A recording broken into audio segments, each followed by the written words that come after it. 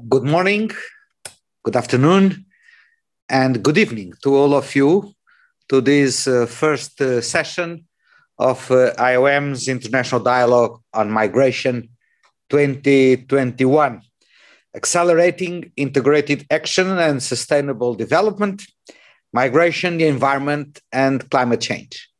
I would like to ask uh, our colleague to give some technical advices and then we will proceed. The floor is yours. Thank you. I want to thank everyone for being here and make some key announcements. Interpretation for this event is available in English, French, and Spanish. Please select your preferred language using the interpretation button at the bottom of your screen. There are English closed captions for increased accessibility. To enable, click the closed caption button and choose Show Subtitle. If you encounter any issues with the platform, we are providing a backup live stream on the URL shown on your screen. I will also share the link to that in the chat shortly. Note that this should only be used as a backup, as you are not able to fully interact with the other participants. You can submit questions and comments throughout this event. In the Zoom platform, use the Q&A button. Uh, note that you have to use the option, or note that you have the option to submit questions anonymously as well. If you are following the live stream or uh, in the event app, type your question or comment in the session chat. If you would like to ask the floor, please also use the Q&A button. Specify clearly whether it is a question, comment, or statement that you would like to make. And lastly, to ensure that the hosts and others can easily identify you, please make sure your name is in the format that you see on screen. Country name first, or organization, followed by your first and last name. If you have any technical problems during the conference, please email info at idm2021.org. For any statements, inquiries, or queries, please write to IDM workshop at iom.int. I will now hand the floor back to Director General of IOM, Mr. Antonio Vitorino, for opening remarks. Thank you so much. And uh, once again, welcome to this first session of uh, our 2021 IDM. It's for me a pleasure to welcome you all now when we celebrate the 20th anniversary of uh, the International Dialogue on uh, Migration. They provided, I believe, a platform to highlight and to debate the key migration governance issues of our times. This year, we have decided to dedicate this event to a topic that is not just a concern for the future, but for all of us today the impacts of climate and environmental change on migration. In 2001, IDM celebrated the 50th anniversary of the organization. Looking back at the evolution of IOM's work since 1951 in the service of uh, governments and migrants. 20 years later, as we recognize a more mature but not yet old IOM at 70, the world is recovering from a major shock a global pandemic that has put a halt to traditional internal and international mobility patterns. But while we are all preoccupied with response and recovery to COVID 19, a task that uh, I fear will take many years, we must not be distracted. Over the past several decades, climate change and environmental degradation has emerged as what I could say the defining issue of our time. Slowly, the impacts of this change on migration and mobility has moved into the spotlight, due in no small part to the efforts of IOM colleagues who have been constantly promoting awareness, advocacy, and action. Indeed, 10 years ago, 10 years ago, IOM organized the first IDM on migration, environment, and climate change, aiming first and foremost to encourage parallel nascent climate negotiations to integrate migration and displacement issues. A decade later, we are proud to see migration and displacement issues fully integrated in the Paris Agreement, addressed through many other relevant international processes and dialogues. Our awareness and knowledge of the challenge have expanded tremendously, just as the impacts for migrants, displaced populations, and broader communities have proliferated. Yet, so much is still to be done. Our objective today is to call on the governments, partners, and experts gathered here today to accelerate action on migration, environment, and climate change through strong partnerships and innovative initiatives. Climate change and its adverse impacts increasingly affect how, when, and where people migrate worldwide. There is no region in the world, no region in the world that has avoided population movements directly or indirectly linked to adverse climate impacts. We are seeing increasing levels of rural to urban migration in African cities. Population relocation away from rising sea levels in small island states the nexus, the nexus between climate change and migration is complex, and expertise from many different policy areas is definitely needed to inform the development of uh, concrete uh, responses. More than ever, multilateralism is needed to address the changing nature of uh, our world. States cannot tackle migration issues and adverse climate change impacts alone. We, uh, therefore, must redouble our commitment to collective action towards the effective implementation of relevant global frameworks and enhanced policy coherence. This includes ensuring the robust implementation of the Global Compact for Migration, the Paris Agreement, the UNFCCC recommendations on addressing displacement related to the adverse impacts of climate change, the Sendai Framework for Disaster Risk Reduction, and the Nansen Initiative Protection Agenda. More international cooperation is needed to create genuinely transformative changes and support the states most vulnerable to climate impacts.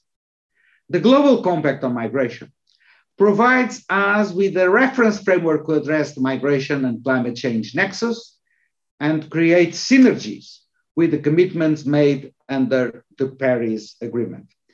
Jointly delivering on both these commitments will also leverage our contribution to the 2030 Agenda goals. For this reason, the UN Migration Network on Migration has decided to address this topic as a thematic priority for 2021 and 2022. The Migration and Climate Change Workstream, led by the UNFCCC Secretariat and by IOM, with the support of other network members, is currently, currently developing a robust work program. And as coordinator of the network, I am committed to supporting the network's efforts to support member states who request our technical expertise. As the Director General of IOM, I consider the migration and climate change nexus to be our key institutional priority. We have developed a new institution-wide strategy on migration, environment, and climate change that has benefited from broad consultations and engagement with many of you and which will be presented in the coming month. We have identified three prior, priority areas where we considered action to be urgently needed and where IOM can add value and provide effective support to member states, to migrants, and to the host communities. Looking ahead, we have identified specific gaps and challenges, such as the interplay between climate change, migration, and urban planning, or the links between climate, migration, and conflict. Our vision and commitment are to promote a comprehensive approach to migration, environment, and climate change, grounded in human rights based approaches and for the benefit of migrants and societies. When well managed, migration becomes a safe and accessible choice. It can help people adapt to environmental and climate change pressures. Over the next three days, we will take stock of advances, gaps, and challenges across multiple dimensions of the climate and migration nexus. My hope is that at the end of this dialogue, in line with the purposes of the IDM, we will have identified practices, lessons learned, and recommendations that will support the development and implementation of concrete actions for the benefit of both states and migrants. The results of our common work will feed into our contributions to the upcoming COP26 a vitally important milestone. Colleagues, Excellencies, ladies and gentlemen, I look forward to fruitful deliberations, and I am convinced that together we can rise to the challenge. Thank you. And to follow up with this opening session, I would like now to present the video of Mr. Josaia Voreqe Bainimarama, retired Honorable Prime Minister, Rear Admiral of uh, Fiji. I have the great pleasure to present the remarks of Mr. Bainimarama, and uh, uh, I would emphasize that he is one of the leading voices calling on the international community to commit to more ambitious targets to curb carbon emissions and served as the president of the 23rd Conference of the Parties of the United Nations Framework Convention on Climate Change. Please play the video. Mr. Antonio Vitorino, Director General of the International Organization for Migration. Mr. Volkan Bozkır, President of the 75th session of the General Assembly. Ms. Amina J. Mohammed, the Deputy Secretary General of the United Nations, Ms. Uh, Runa Khan, the founder and executive director of Friendship. Ladies and gentlemen, I would like to thank the International Dialogue on Migration for taking on the issue of the undeniable interrelationship between migration, the environment, and climate change. Climate change displacement has gone from a doomsday proposition to a daily problem for vulnerable nations at a pace at which the current efforts at the adaptation have not matched. We are now face to face with the fact that climate change is forcing people to move, and we can expect the trend to accelerate. Some movement may be orderly and planned, but some mass movement of people, particularly cross-border movement, will certainly cause political tension and even violence. The IDM is the logical stepping stone to mainstream migration and climate questions in COVID-19 recovery efforts and climate action, and identify the specific challenges faced by countries most vulnerable to climate change and most likely to lose or gain population through climate-induced migration. Clearly, while all of us will face the effects of climate-induced migration, not all countries will have the same experience. There is no doubt that climate change is an existential threat to our way of life in the Pacific. This threat comes from the rise in sea level, in increasing frequency and uh, intensity of extreme weather events, and change to our agriculture and marine fish stocks. Fiji has borne the brunt of two of the strongest tropical cyclones in the southern hemisphere over the past decade. Tropical Cyclone Winston and Tropical Cyclone Yasa. We see no respite in the future from intense and even unpredictable weather patterns. In fact, they appear to be getting worse each year. Some of our neighbors in the Pacific, especially those on low-lying atolls, face the hard reality that they may lose everything. Their homelands may simply disappear. The science is telling us that at the current rate of warming, the Pacific should brace for a wave of external cross-border migration as nations sleep beneath the rising sea. If that happens, people will have to find a new place to live. Fiji has offered permanent settlement to the citizens of Tuvalu and Kiribati, should it be needed, and that offer still stands. Fiji has been given a glimpse of how the changing climate is driving displacement. Within our own borders, we are an expanding and invaluable body of knowledge that we hope can serve the world as cross-border flows of migration intensity. In Fiji, Six communities have been fully or partially relocated with the support of the government. More than 40 others have been identified for relocation. And we are moving forward methodically, consulting intensely with the people who are affected. This requires uh, considerable resources, but the full accounting is more than dollars and cents. The movement to higher ground often comes at a cost that cannot be calculated. For Fiji's most vulnerable coastal communities, the sea has been a source of livelihoods, prosperity, and identity for generations. It is a brutal twist of fate for that same sea that uh, they depend on to now threaten their security.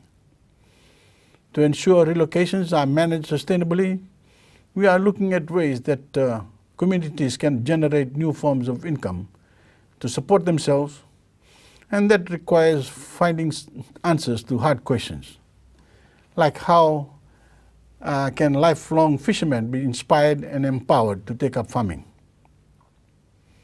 We are developing standard operating procedures for planned uh, relocation and a vulnerability assessment framework to guide this all uh, encompassing process. The lessons learned uh, through every relocation make successive efforts more manageable.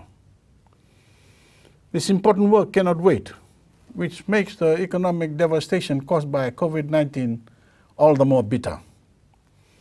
With the shutdown of international borders, Fiji's tourism industry, which drives nearly 40% of our GDP, has come to a standstill. Fiji cannot afford to suffer the continuous economic setbacks brought about by COVID-19 in addition to the costs we bear because of climate change. A joint regional response to both climate change and COVID-19 is needed. Recovery efforts should contribute to the transition to a green economy and build climate resilience, create green jobs, and support effective climate action and efforts to reach carbon neutrality. The Paris Agreement, which Fiji was the first country to ratify five years ago, recognized the issue of climate displacement.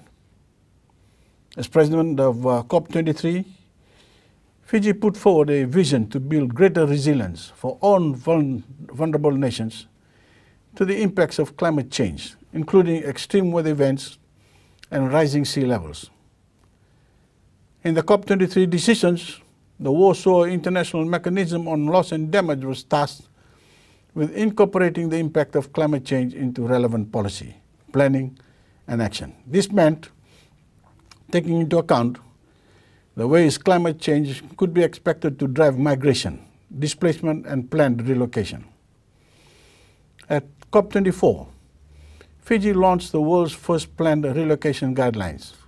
And at COP25, Fiji launched its uh, own displacement guidelines. In 2019, Fiji launched a relocation fund for people displaced by climate change. We have uh, unrelentingly stressed the point that climate change and displacement threaten basic human rights, including access to food, to water, and to a clean and healthy environment, both as the current chair of the platform on disaster displacement and through our active engagement in other global discussions. On this basis, Fiji has advocated inclusive, rights-based and transparent processes to address disaster displacement once it occurs. But we have also stressed the need to prevent displacement and to address its root causes. The Pacific Island states have also acted as a region through the Boe Declaration, which reaffirms climate change as a security threat and endorses the recommendations included in the Framework for Resilient Development, the FRDP. We in the Pacific need to explore opportunities for a regional approach to dealing with climate and disaster-related migration. We need to safeguard the rights of families and communities who may be displaced in the future due to climate change. Ladies and gentlemen, Fiji is proud to have contributed to global policy discussions related to the Global Compact for safe, orderly, and regular migration. At the Council meeting since we joined the IOM uh, in 2013, we have consistently raised the protection challenges associated with climate mobility. And I wish to acknowledge the work IOM is doing in Fiji and throughout the Pacific to move forward on this front. We hope that this first uh, IOM session will renew countries' commitments to confront the challenges presented by climate change and specifically to deal seriously with the issue of displacement. Now, Valevo, thank you. Thank you so much for the for such a, a lively uh, vision coming from someone who is in the front line. And now uh, I have uh, the pleasure to welcome uh, the His Excellency Nasser Bourita, the Minister of Foreign Affairs of the Kingdom of uh, uh, Morocco.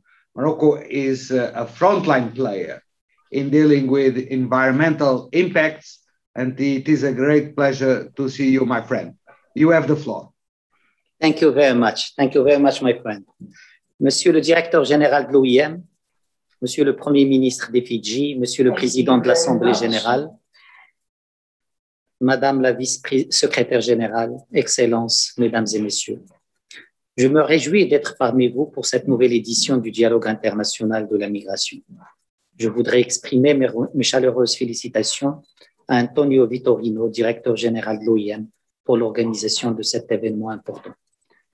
Avant d'entrer dans le vif du sujet, j'aimerais saluer la pertinence du dialogue qui a su, au cours de ces 20 dernières années, s'imposer en tant qu'espace de discussion ouverte et responsable sur les défis et opportunités de la migration. Il faut reconnaître aussi que le dialogue a cette capacité à choisir chaque année une thématique saisissante de justesse. Celle qui nous réunit aujourd'hui autour de la migration, de l'environnement et des changements climatiques en est un parfait exemple. Il s'agit d'un sujet dans lequel le Royaume du Maroc se retrouve complètement. Sous le leadership de Sa Majesté le roi Mohamed VI, l'engagement du Royaume se situe à l'intersection de la migration, de l'environnement et des changements climatiques au moyen d'une action intégrée en faveur du développement humain et durable. Notre dialogue aujourd'hui se tient dans un contexte qui voit les efforts du monde entier converger vers la COVID-19 en vue d'éradiquer la pandémie, de mitiger son impact socio-économique, de relancer les économies et d'immuniser les sociétés. Faut-il souligner que la pandémie a impacté aussi la dynamique migratoire Il a ralenti la hausse des migrations internationales de 27%. Il a aussi comprimé considérablement le volume des transferts des fonds des migrants vers leur pays d'origine. Mais c'est surtout l'impact socio-économique qui a été le plus désastreux. La pandémie a exacerbé la vulnérabilité des migrants.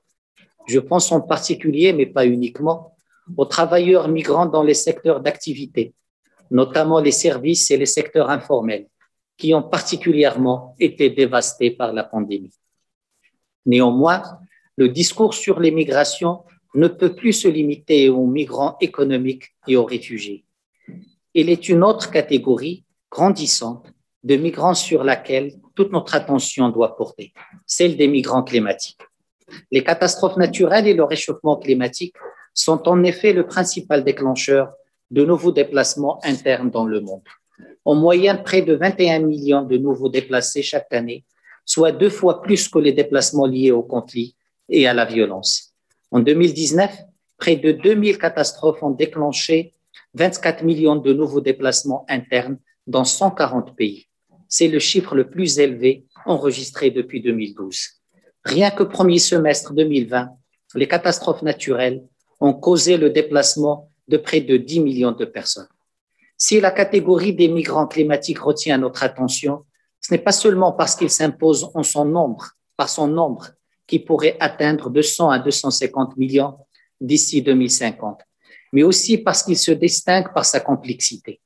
Elle est difficile à quantifier avec précision, car il s'appuie souvent sur des prédictions. Elle est difficile à qualifier conceptuellement, car elle brouille les frontières entre migration forcée et volontaire dont elle se situe à la lisière. Elle est issue de facteurs multiples qui imbriquent le changement climatique avec d'autres facteurs économiques, sociaux et politiques. Il s'agit pour la plupart des déplacements internes ou les migrations régionales, car la migration internationale est souvent inaccessible pour les populations les plus vulnérables au changement climatique. Excellences, Mesdames et Messieurs, je dois ici m'arrêter tout particulièrement sur la situation dans mon continent, l'Afrique.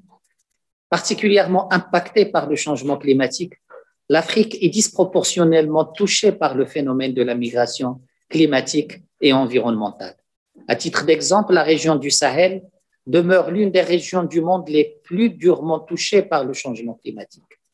Elle est aujourd'hui l'épicentre de l'une des crises de déplacement à la croissance la plus rapide au monde, avec près de 1,6 million de déplacés internes et 365 000 réfugiés ayant fui la violence, dont plus de 640 000 en 2020. Le lien entre le réchauffement climatique, la paix et la sécurité en Afrique n'est plus à démontrer. La hausse des températures a augmenté le risque des conflits de 11% en Afrique subsaharienne depuis 1980. Si cette tendance se poursuit, ce pourcentage pourrait atteindre 54% en 2030 et coûter la vie à près de 400 000 personnes, notamment en raison du stress hydrique croissant à la diminution, et à la diminution des, des surfaces agricoles. Je pense aussi aux petits États insulaires en développement qui sont confrontés à des défis existentiels du fait des changements climatiques. Nous n'avons pas seulement la responsabilité d'agir, Excellences, Mesdames et Messieurs, mais aussi le devoir de le faire rapidement pour juguler les déplacements liés au dérèglement climatique et mitiger les causes des catastrophes naturelles et la dégradation environnementale. La conviction du Maroc est qu'une action urgente de la communauté internationale devrait être basée autour des trois axes complémentaires suivants. Protéger les, personnes déplacées. Deux, faciliter les déplacements préventifs pour s'éloigner du danger et prévenir des déplacements massifs et brusques. Trois, lutter contre le changement climatique en renforçant les politiques d'adaptation et de résilience à travers notamment la Convention des Nations Unies sur les changements climatiques et les accords de Paris. Ces trois axes sont le prolongement de la doctrine du Maroc que le, Maroc dont le Maroc s'est imprégné afin de lutter contre les effets néfastes des changements climatiques. Ainsi, en matière d'adaptation et d'atténuation des changements climatiques, le Maroc est leader avec une NDC ambitieuse de réduction des émissions de gaz à effet de serre de 42% à l'horizon 2030. De même, le Royaume a considérablement augmenté la part des énergies renouvelables au cours des dix dernières années. Il est en voie d'atteindre l'objectif de 52% de capacité d'énergie renouvelable en 2030. Au niveau, au niveau régional, le Maroc, sous le leadership de Sa Majesté le Roi, a développé une forte solidarité climatique avec les pays de l'Afrique. Et je réfère en particulier à l'organisation du premier sommet africain de l'action en faveur de la co-émergence continentale, l'initiative triple A, adaptation de l'agriculture africaine, l'initiative 3S, euh, lancée conjointement avec, entre le Maroc et le Sénégal, qui propose des solutions innovantes à travers des alternatives à la migration forcée, et enfin la coalition sur les énergies durables, ainsi que la plateforme africaine Youth Climate Hub. Excellences, Mesdames et Messieurs, l'engagement du Maroc en matière de lutte contre le changement climatique est ainsi le pendant de son engagement sur la question migratoire. Je veux dire, bien sûr, la politique nationale migratoire lancée par Sa Majesté le roi Mohamed VI est fondée sur des valeurs solidaires et humaines.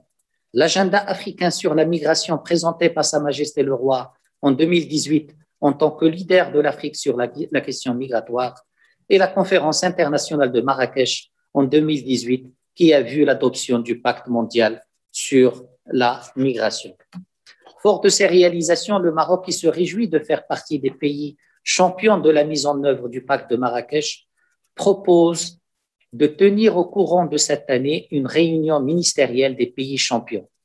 Couronnée d'une déclaration conjointe, il viserait la promotion de ce pacte et la sensibilisation pour la mise en œuvre pleine et effective de ces objectifs. Excellences, Mesdames et Messieurs, j'aimerais, avant de conclure, affirmer que la protection de l'environnement, la lutte contre les changements climatiques et la gestion de la migration ont de cela de mutuel qu'ils partagent les mêmes dénominateurs communs. Ces enjeux structurants nécessitent tous d'abord une prise de conscience des défis collectifs, ensuite une volonté politique et un engagement sincère de tous les acteurs. Enfin, une gestion basée sur les principes fondamentaux de la responsabilité partagée et du respect mutuel. Néanmoins, l'ensemble de ces préceptes ne saurait être efficace sans quelques principes élémentaires. Et je veux dire ici la position qui est celle des pays de transit, qui sont aussi souvent à la, fois des pays d'immigration et d'immigration. Le premier de ces principes, c'est que la gestion des frontières ne peut faire l'objet d'une externalisation. Nous l'avons dit, nous le répétons, les pays de transit n'ont ni la responsabilité d'être des gendarmes, ni la vocation d'être des gardes frontières. Le deuxième principe qui en découle, c'est que la responsabilité en migration ne saurait faire l'objet d'un transfert. Transférer sa responsabilité, c'est non seulement s'en défausser, mais également vider de sa substance la logique même du partenariat. Un partenaire est un associé, égalitaire. Il n'est ni un bouc émissaire, ni un adversaire. Le troisième principe est que les migrants ne doivent pas faire l'objet d'une instrumentalisation. Le chantage émotionnel, les conceptions binaires ne rendent pas service aux migrants. Rendre service aux migrants, c'est précisément le contraire.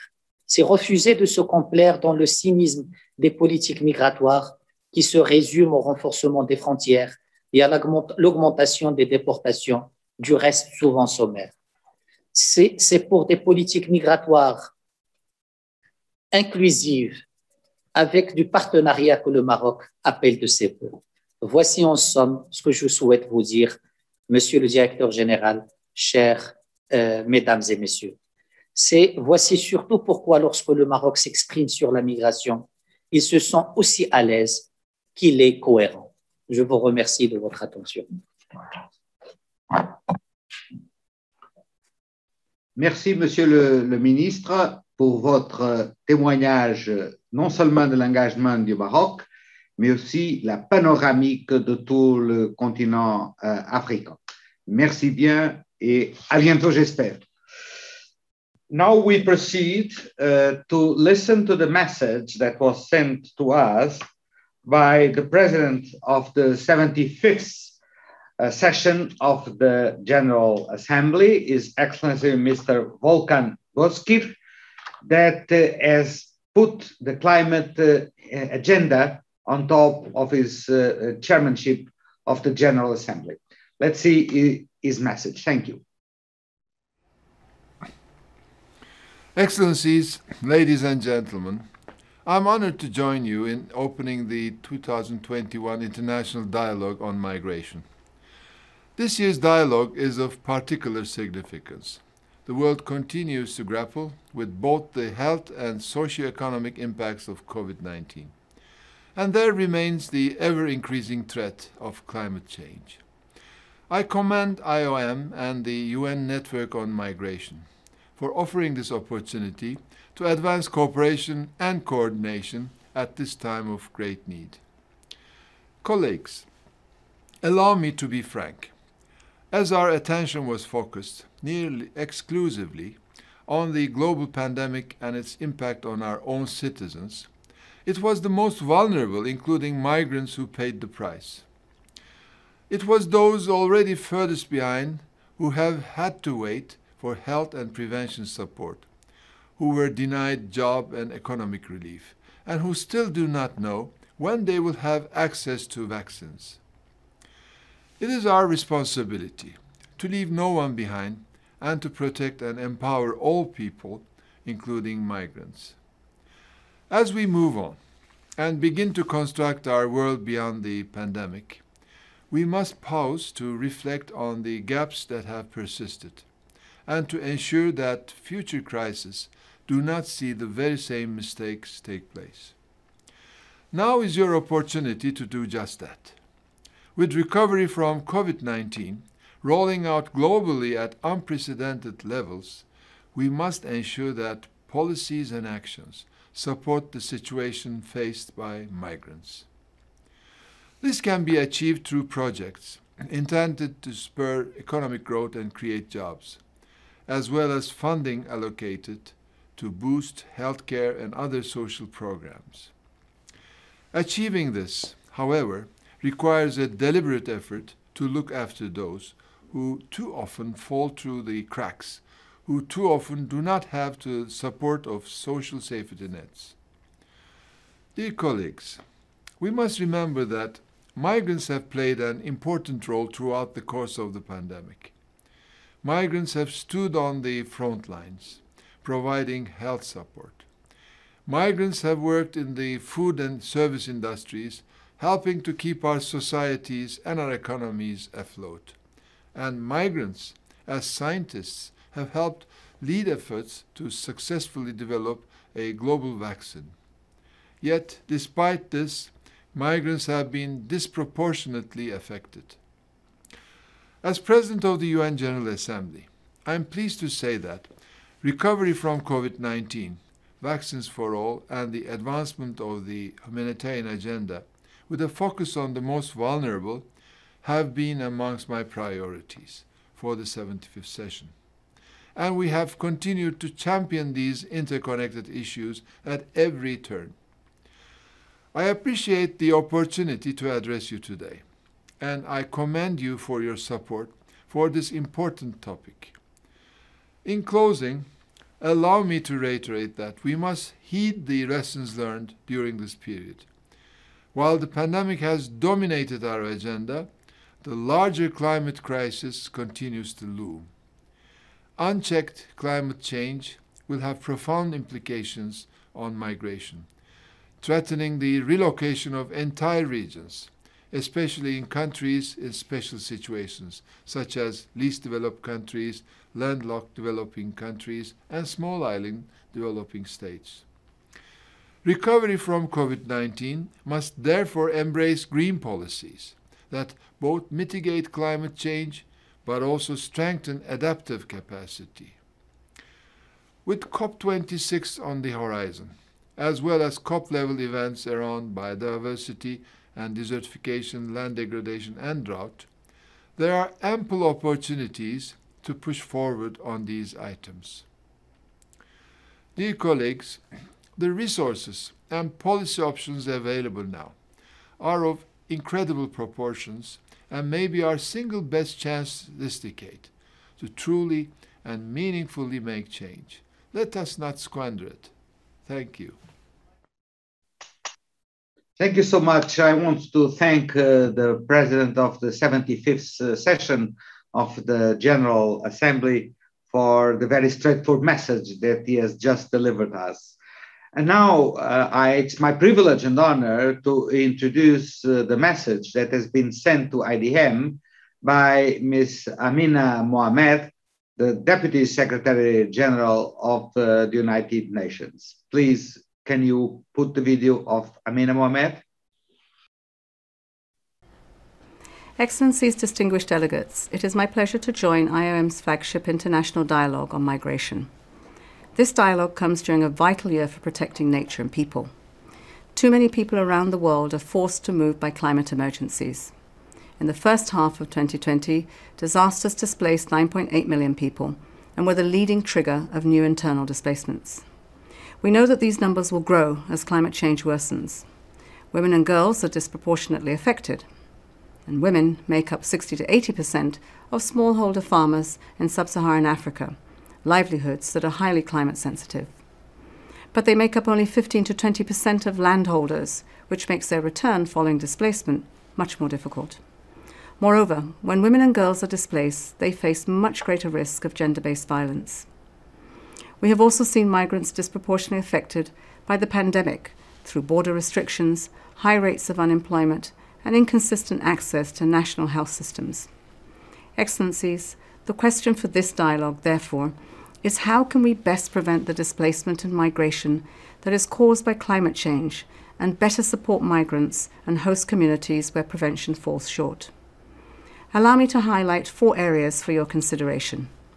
The first, the best way to prevent climate related migration and displacement is to limit warming to 1.5 degrees all countries need to step up with credible, enhanced, nationally determined contributions ahead of COP26 and with long term strategies that put the world on a trajectory to net zero emissions by mid century.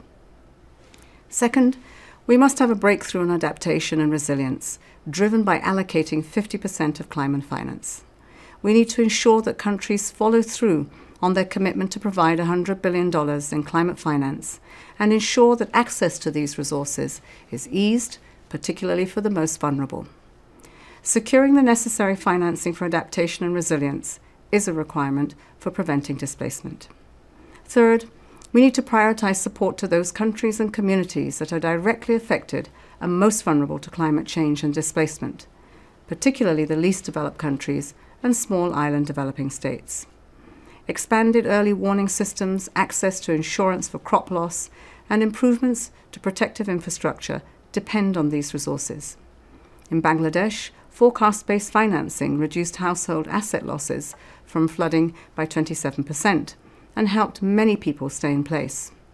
In India, systemic improvements to early warning and evacuation have prevented nearly all loss of life from cyclones and significantly shortened displacement but we will be unable to stop climate related displacement and migration.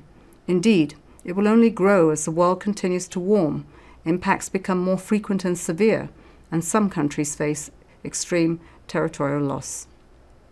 This means we need to support displaced populations, as well as the communities and countries that will host them. To do this effectively, we must ensure that policy responses and financial decision making include vulnerable countries, communities, and migrants, and displaced populations who know their own challenges and have their own solutions. Fourth, we need to understand that climate change is combining with inequality, conflict, and the impacts of the pandemic to drive greater deprivation and forced migration. We need a whole of society approach rooted in delivering the Sustainable Development Goals over the course of the decade of action to help people maintain their livelihoods, health, rights, and access to basic services. Across the months ahead, at the high level political forum, the major conferences on food systems, energy, biodiversity, and climate change, we need to secure a more stable, resilient future for populations most at risk. Next year's International Migration Review Forum will then have a strong basis for reducing displacement and ensuring the necessary support for migrants and host communities. In each of these areas, you can count on the support of the UN system. Through the UN Migration Network, we have a platform for leveraging the knowledge and expertise of UN entities in an integrated manner as governments work to implement the Global Compact for safe, orderly, and regular migration. I wish you every success in your important deliberations. Thank you. Thank you so much, uh, Deputy Secretary General. We are very reassured by the fact that climate change and the link with migration figures top of the agenda of the UN system as a whole. And above all, for your recommendation to look at uh, this issue from an all of society perspective. And that's precisely, it is my pleasure now to introduce you to Ms. Runa Khan, founder and executive director of Friendship, an international social purpose organization established in Bangladesh in 2002 to support uh, remote communities in the country, particularly exposed to adverse impacts of uh, climate change. And uh, Runa, thank you so much for being with us, especially at this very late hour uh, in your country. We appreciate very much. You have the floor. Thank you. Thank you very much, Mr. Antonio Vitorino, very distinguished speakers, guests. Thank you for the invitation to speak at this much needed international dialogue on migration. Forced migration is an overwhelming reality of today. Its impact and possible scale, a frightening thought for our coming tomorrow. Ideas, policies, course of actions are gaining momentum, but truth is, nothing is decreasing its volume or dangers or pain of each occurrence. All washed away in front of my eyes, my home, my land. Salinity has taken over, no longer can I grow crops or drink the water of my land. I used to have a happy home, wife, children, food, and hope. Today I pull a rickshaw, live in the slums, alone, with no hope left in me. My child, wrenched from my arms, was thrown into the fire, all quoted to me as a witness by affected migrants. Migration due to predictable climate issues has been happening historically. But what a difference when unpredictability of unimaginable magnitude happens, along with overwhelming increase in demography. For then, no longer does it allow migrants to plan and secure physical space for restarting their life elsewhere. What happens when refugees do not migrate in tens, but in millions? We know. Trying to take steps for prevention is no longer acceptable. Actions need to be spoken of as already taken. Climate migrants are a global phenomenon. Environmental degradation has led to people being trapped in their vulnerabilities. In 2019, 24.9 million new IDPs across 140 countries were linked to sudden onset disasters, conflict, violence, to another 8.5 million. Data for slow migration like sea level rise or river erosion triggered displacements are very hard to come by. We don't know. COVID 19 more than ever before, people are moving to different places in search of livelihood. The world's biggest challenges are accelerating climate crisis and migration, poverty and migration, migration from fear of terrorism, political migrants, pollution of air, water, migration due to demography, lack of space, and now the global health crisis. All defying borders, yet raising new and still higher borders and barriers. We are trapped. So, going through traditional modalities of negotiation and for about to be made policies, it's already late. Because of the time it's decided and implemented, new challenges are arising. How do you perceive to be able to manage the fact that climate migrants are going to multiply at least three to four times in the coming years and will sooner or later break the borders? Internal displacement, unlike intercountry migration, is mostly silent and invisible. Bangladesh is a country of 170 million people on 148,000 square kilometer of land with 52 often underwater, seventh on the global climate risk index. One meter rise is one fifth of the country underwater, thus becoming foremost in number of people to be impacted. And friendship over the last 20 years has been working successfully, finding adaptation solutions to access basic human needs for migrant communities. Health through floating hospitals and services given by trained community medics, prevention, easing suffering to curing. Being by their sides, preparing them through our community initiated disaster risk programs, giving access to knowledge and funds through our climate resilience economic actions, training, empowering microsocial entrepreneurs so they can always carry their knowledge, training, and crafts farmers, fishermen, parasolar technicians, paravets, paralegals, paramedics, teachers, weavers, and then strengthening them with linkages to the government services and legal help, ensuring deep understanding of their own worth and their own ecosystem every time they move, to continue in enabling to give services, earn, and restart their lives within their moving communities. Ensuring that we are nurturing dignity and self respect is, for me, the single most important factor for enabling this distressed, pained community to return to the mainstream. I have a short film to show you. I hope they can show it now. Thank you very much.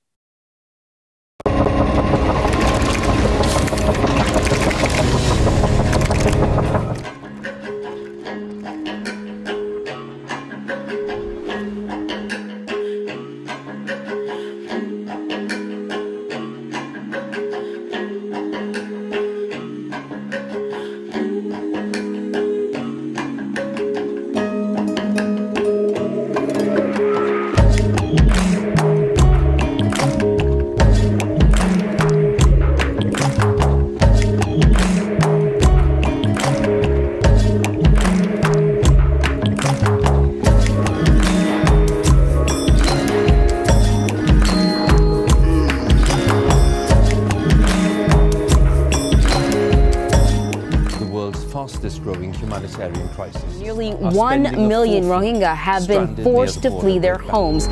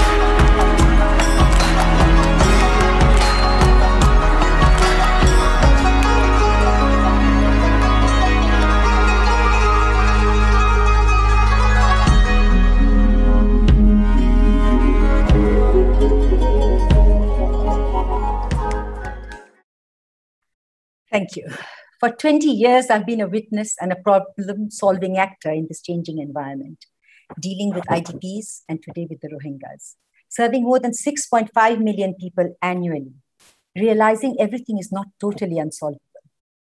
I have received my share of rice. My neighbor still needs it. Please give it to them. I have savings with friendship, and a school has now shifted to our island. I don't need more. I now know that drinking saline water had caused me three miscarriages. But having a clinic at my door and fresh drinking water from the water plants, today I have a beautiful, healthy baby. Hope happens, but actions are needed for it to happen. Each migration, each reason for migration, each migrating community in each country has unique issues and problems. It needs to be micro and macro managed. There is no panacea for everyone everywhere. We need to accept this. To prevent forced migration is the long term solution. Yet, seeing the daily migrants we know, simultaneously people need protection and they need it now. With each migration, people fall below the poverty line, shifting the economic curve downwards. It has a direct impact on any country which wants to reach the SDG goals. Governments need to identify climate vulnerable migrant communities, treat them as valuable members of their own society country. So often they are ignored. Ensuring that these policies address directly, practically the reality of the migration and is addressed with solidarity, compassion, empathy. policies which are credible, possible, and acceptable by the population and communities. If IOM extends their help for doing this in the way acceptable by the governments, helping in providing dialogue for collaboration with policymakers and civil society, sharing experiences in finding internal solution, forced migration, or at least impact of forced migration may lessen. Safety in migration needs to be ensured so that people for whom this is happening do not see it as a failure, a fear, or a tragedy, but a tool to restart their life. Preparedness is key, preparedness and foresight for all of our stakeholders involved. Most migratory populations spiral economically downwards due to total lack of needed economic and life skills and lack of strength due to no access to basic services. Good health, education, skill training, access to finance, understanding of legal processes, and knowledge of where to go to get support, which is very often the governments are providing, are key to the migrants' ability for restarting their life, sometimes twice, three times a year minimizing scales of many natural disasters by simply caring and improving management, repairing the embankment leaks on time, shelters, foreseeing giving timely warnings for threatening famines, cyclones, floods, along with preparedness. 20 year old Molida, a trained friendship flood volunteer from a chor called Chor is an island called Goinar Potol, rescued 45 women and children during the last flood by building a banana raft, you know, with a stalk with the banana stalks. And today, with all the famines, good intentions, how is it not possible to address this issue more impactfully?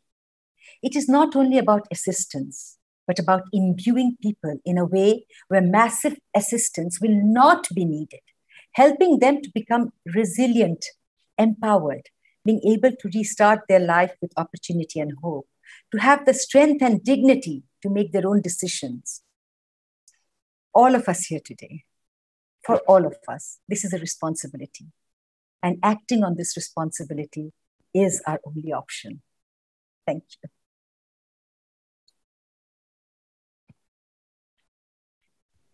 Thank you so much, Runa, very for your very impressive uh, contribution and for the ideas that you have put forward I think that there is a common message from all the participants. We need to build back better, but we need to look to the impacts of climate change because it is a joint endeavor. And definitely, this is probably the best introduction for our first panel that uh, we call it uh, road the road to COP26. So the question is, what can be done? What should be done? In order to accelerate action to address migration and displacement in the context of climate and environmental change. We know that uh, Glasgow is going to be a milestone, and we want to make sure that this part of the issue is visible and is given the necessary attention from the international community. And we are very lucky today to have uh, a high quality panel of uh, uh, interventions and speakers that uh, I will immediately present to you. And the first one is uh, the Foreign Minister of uh, uh, Bangladesh, Dr. A.K. Abdul Momen. we have a video message from him, and I would like to ask to put his video message on now. Thank you.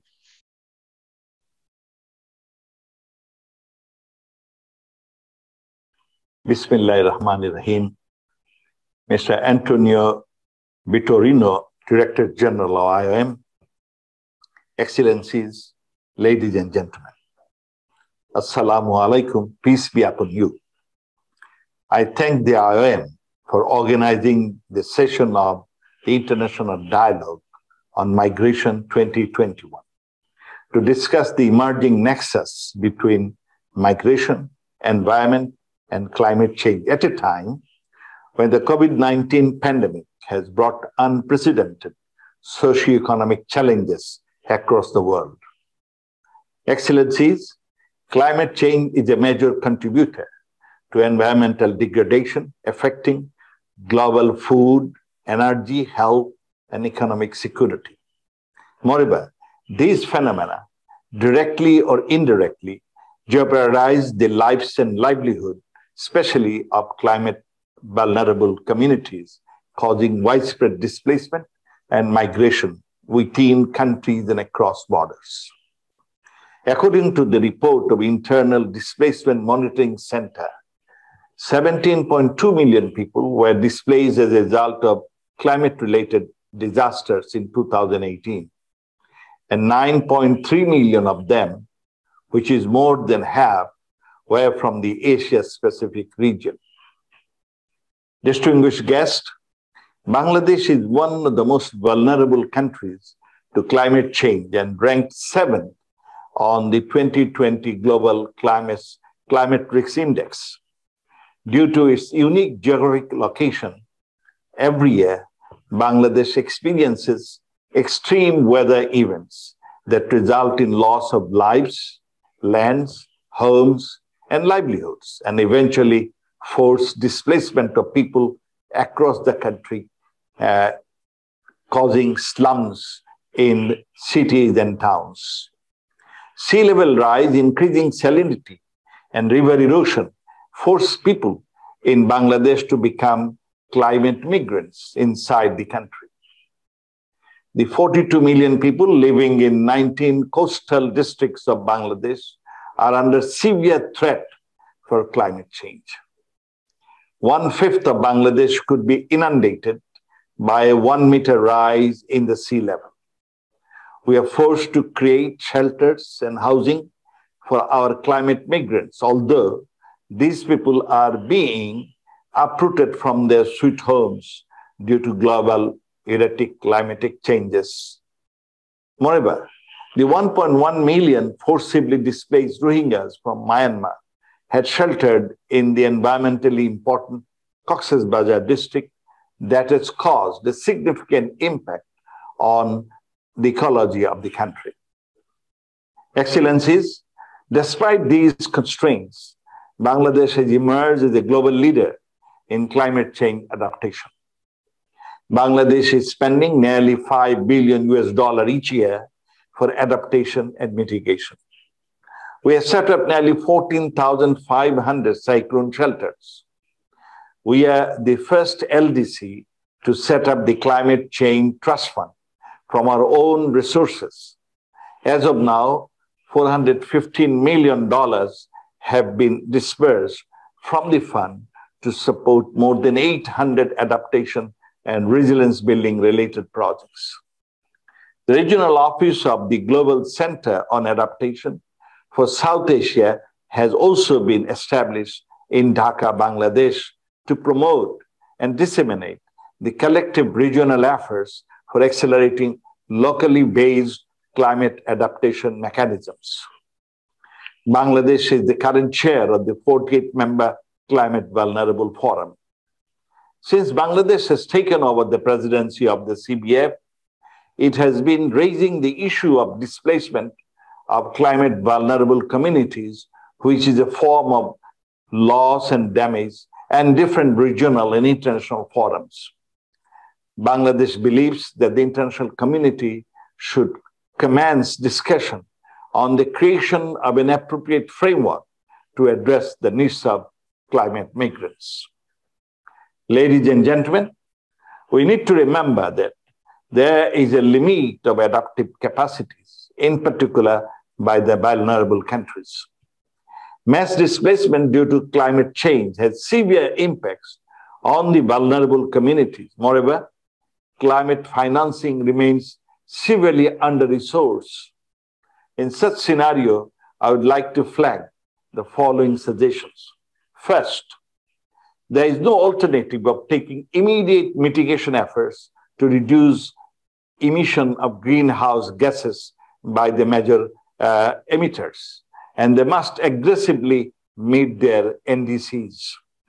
Second, Bangladesh is of the view that climate change and related disasters is a development and economic issue and must be addressed in the context of international development cooperation. Third, major economies, especially G7, G20, and other major economies, need to come forward to provide adequate resources and technology support to the most vulnerable countries to address the climate change. At least they should come up with US 4 USD 400 billion dollar a year as promised at the Paris Agreement. Fourth, the 2030 Agenda for Sustainable Development Goals, the Paris Agreement, and the Sendai Framework must be implemented in their true spirit.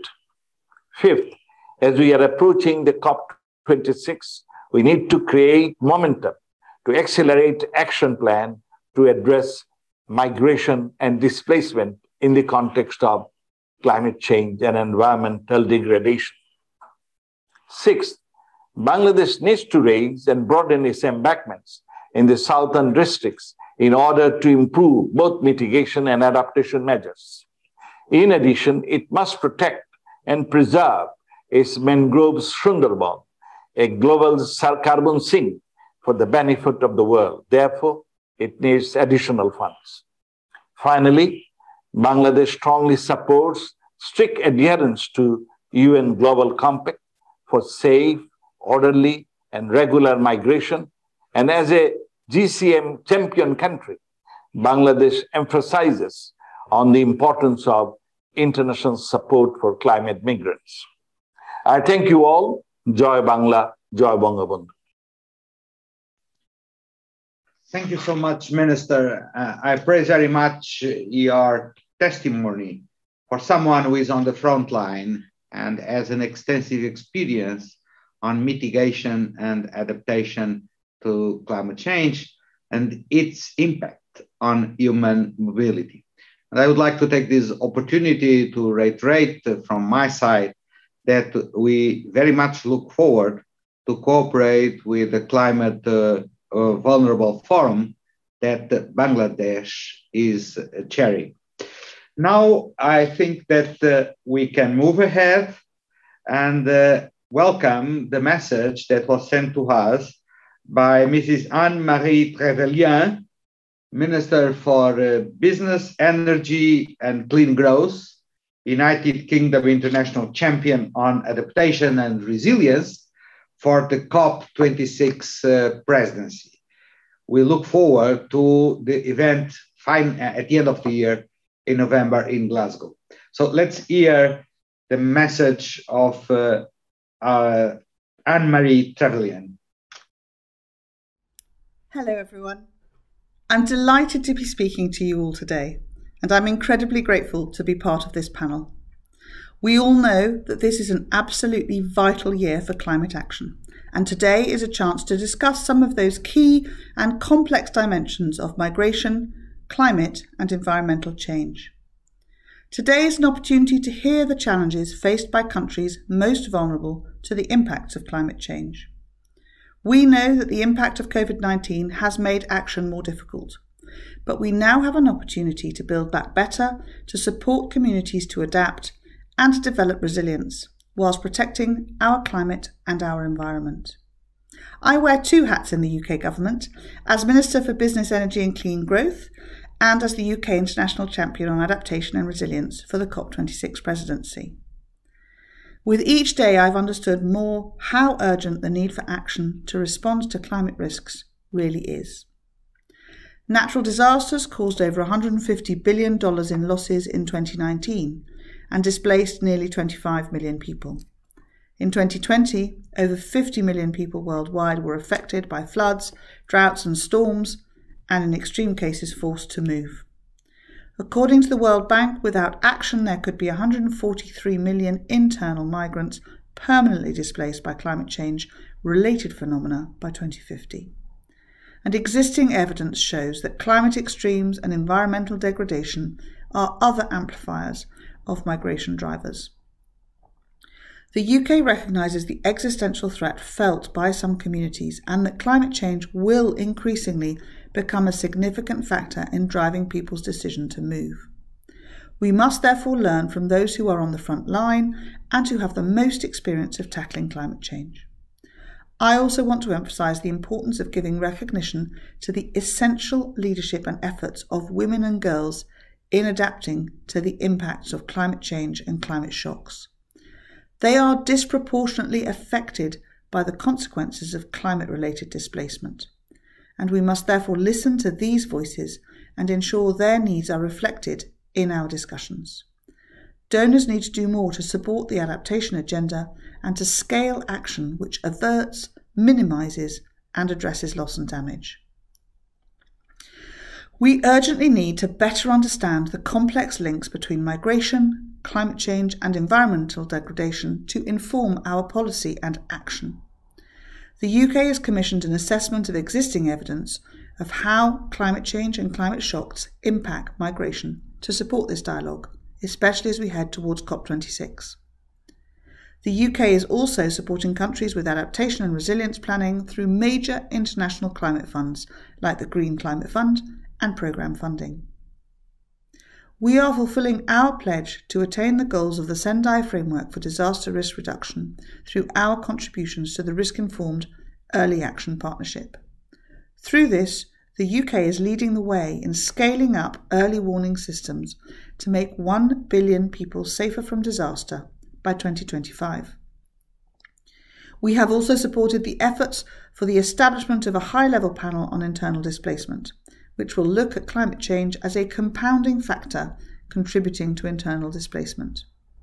The high level panel will submit a report to the UN Secretary General in September of this year with recommendations on how to resolve and prevent further displacement, including through adaptation.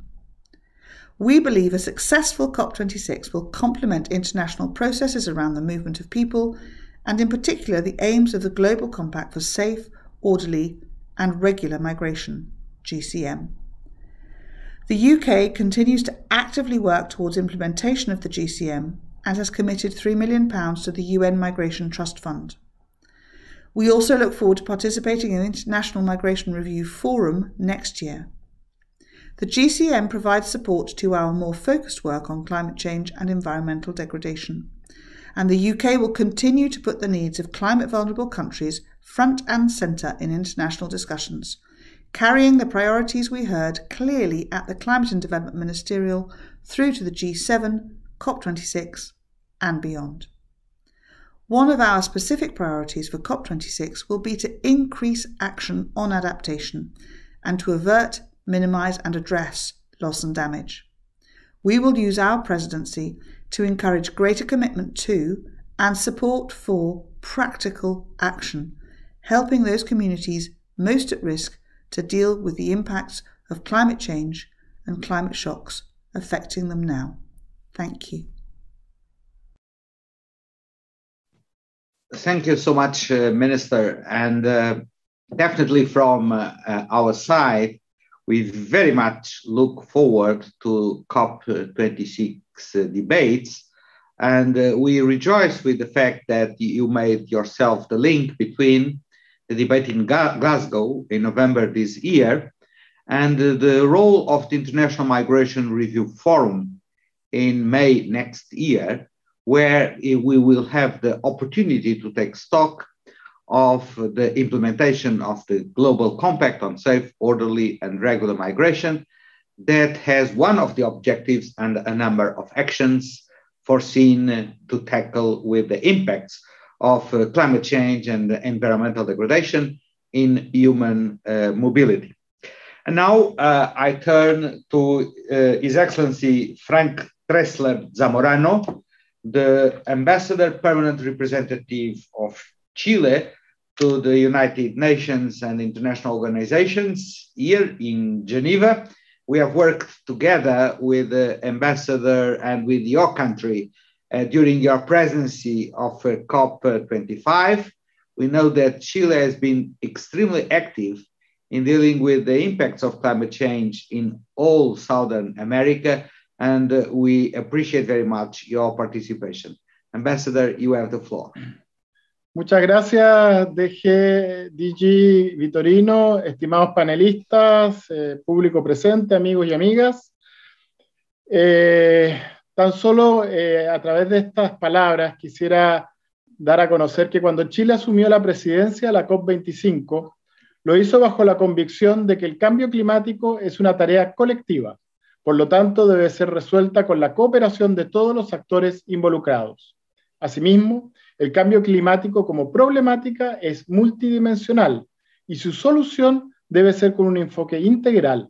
Esto es un esfuerzo tanto del sector público como del privado, de todos los actores sociales que están involucrados.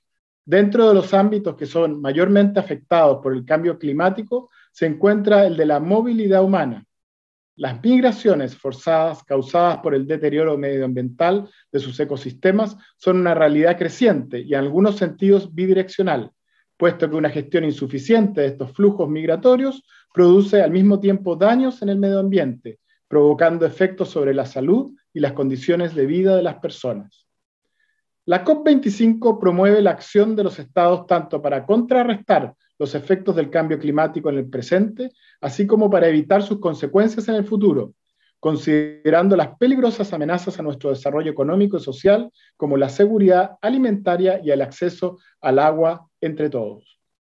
La pandemia de COVID-19, que ha desatado una crisis global sin precedentes y según ha establecido la OMS, el calentamiento global como un factor clave en la aparición del SARS-CoV-2. Ello porque la deforestación, las prácticas agrícolas intensivas y la comercialización de las especies animales salvajes sin protección en su traslado, entre otros factores, ha contribuido al surgimiento de nuevas enfermedades zoonóticas y a acelerar su propagación. Al mismo tiempo, la correlación que existe entre el cambio climático, desastres naturales y movilidad humana exigen la adopción de planes y estrategias diseñados bajo la perspectiva de gestión exhaustiva de la migración que promueve la OIM. La pandemia del COVID-19 impone para estos efectos un escenario sumamente complejo, que es necesario que abordemos todos de manera solidaria y cooperativa. La ministra de Medio Ambiente, Carolina Schmidt, de Chile, dijo que la pandemia pudo haber detenido al mundo, pero no la agenda del medio ambiente. Durante el presente año y el año pasado, Chile ha sido reconocido internacionalmente por apuntar hacia la sustentabilidad. Pese a la compleja situación actual, Chile se ha esforzado por imprimir un sello propio durante la actual presidencia de la COP, al incluir algunas temáticas novedosas que son relevantes para el cambio climático. Entre ellas, figuran como materia la relación entre océanos y cambio climático, el rol de la Antártica como regulador climático global, la vinculación necesaria entre ciencia y política. Finalmente, el rol del manejo de los recursos hídricos a nivel global como elemento transversal a toda acción climática. Chile, en el marco de la implementación de la Convención Marco de Naciones Unidas sobre el Cambio Climático, ha promovido una política exterior multilateral basada en la protección del cuidado de los océanos. Esta línea de acción se ha sustentado en una activa presencia en las conferencias Our Ocean y en el liderazgo en las declaraciones Because the Ocean realizadas en la COP21 y COP22, que han conducido una intensa agenda de reuniones y eventos en colaboración con de otros países, entidades no gubernamentales y académicas. Cerca de un 25% de todos los gases de efecto invernadero son absorbidos por los océanos, lo que produce fenómenos de acidificación y pérdida de la biodiversidad. Asimismo, debido al derretimiento de los hielos, se está produciendo además un aumento del nivel del mar, que afecta el borde costero continental y amenaza la existencia de los pequeños estados insulares. Esto es otro ejemplo concreto que tiene consecuencias en la movilidad humana, tema del cual estamos ahora también hablando y preocupados. Para la COP25, Chile relevó el tema de océanos y cambio climático como un sello distintivo de este importante evento, trabajando con algunos países en la incorporación de los océanos en la agenda de la COP, particularmente desde el enfoque de la adaptación. En miras a la COP26, Chile seguirá impulsando una agenda azul, considerando las últimas evidencias científicas disponibles y el trabajo realizado en diferentes plataformas oceánicas. La adaptación al cambio climático ha sido identificada como una prioridad para nuestro país. Nuestra alta vulnerabilidad y el aumento de la frecuencia e intensidad de los eventos climáticos extremos han generado una demanda aún mayor de recursos para realizar grandes inversiones que fortalezcan la capacidad de adaptación a sus efectos, que puedan afectar nuestras capacidades de desarrollo. Nuestro país ha puesto en práctica distintos planes e iniciativas destinadas a contrarrestar los efectos del calentamiento global, en febrero del 2020 se estableció la Mesa Movilidad Humana y Cambio Climático, la que es coordinada por la Oficina Nacional de Emergencias, acompañada de reparticiones como el Ministerio de Medio Ambiente, Ministerio del Interior y Ministerio de Relaciones Exteriores, entre otros. Chile se ha sumado también a la incorporación a nivel regional de la temática de movilidad humana, desastres y cambio climático, desde el año 2010 en la décima reunión de la Conferencia Sudamericana sobre Migraciones y retomada en la quinceava reunión de la Conferencia Sudamericana de Migraciones durante la presidencia pro tempore de Chile. A pesar de estos avances, los desafíos que plantea el cambio climático y las diversas coyunturas medioambientales siguen aumentando. El riesgo múltiple que representan las amenazas naturales y sus consecuencias multidimensionales, ya sea económicas, sociales, culturales entre otras, se han complejizado aún más debido a la pandemia que actualmente estamos viviendo y enfrentando. Finalmente, la reciente ley promulgada de migraciones y extranjería en mi país adopta también esta perspectiva. Perspectiva de los derechos humanos se incluyen en el párrafo sobre residencia temporal una subcategoría para extranjeros cuya residencia en Chile se justifique por razones humanitarias, dentro de las cuales la migración forzada medioambiental se prevé que sea una de ellas. Chile ha hecho avances que apuntan al carbono neutralidad, entre ellos reubicar a Santiago como la ciudad latinoamericana con la mayor flota de buses eléctricos, el cierre adelantado de las centrales de carbón, el reciente anuncio de la transformación al hidrógeno verde y el inicio formal de los procesos para proteger los humedales urbanos.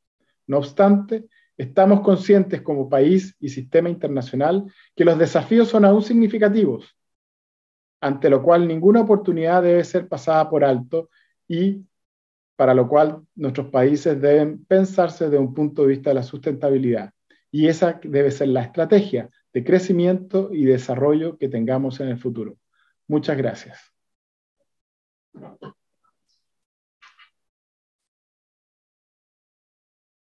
Muchas gracias, eh, embajador, y sobre todo por haber llamado la atención sobre la importancia que Chile ha dado a los océanos y a los recursos hídricos en el marco de la lucha contra el cambio climático. Muchas gracias.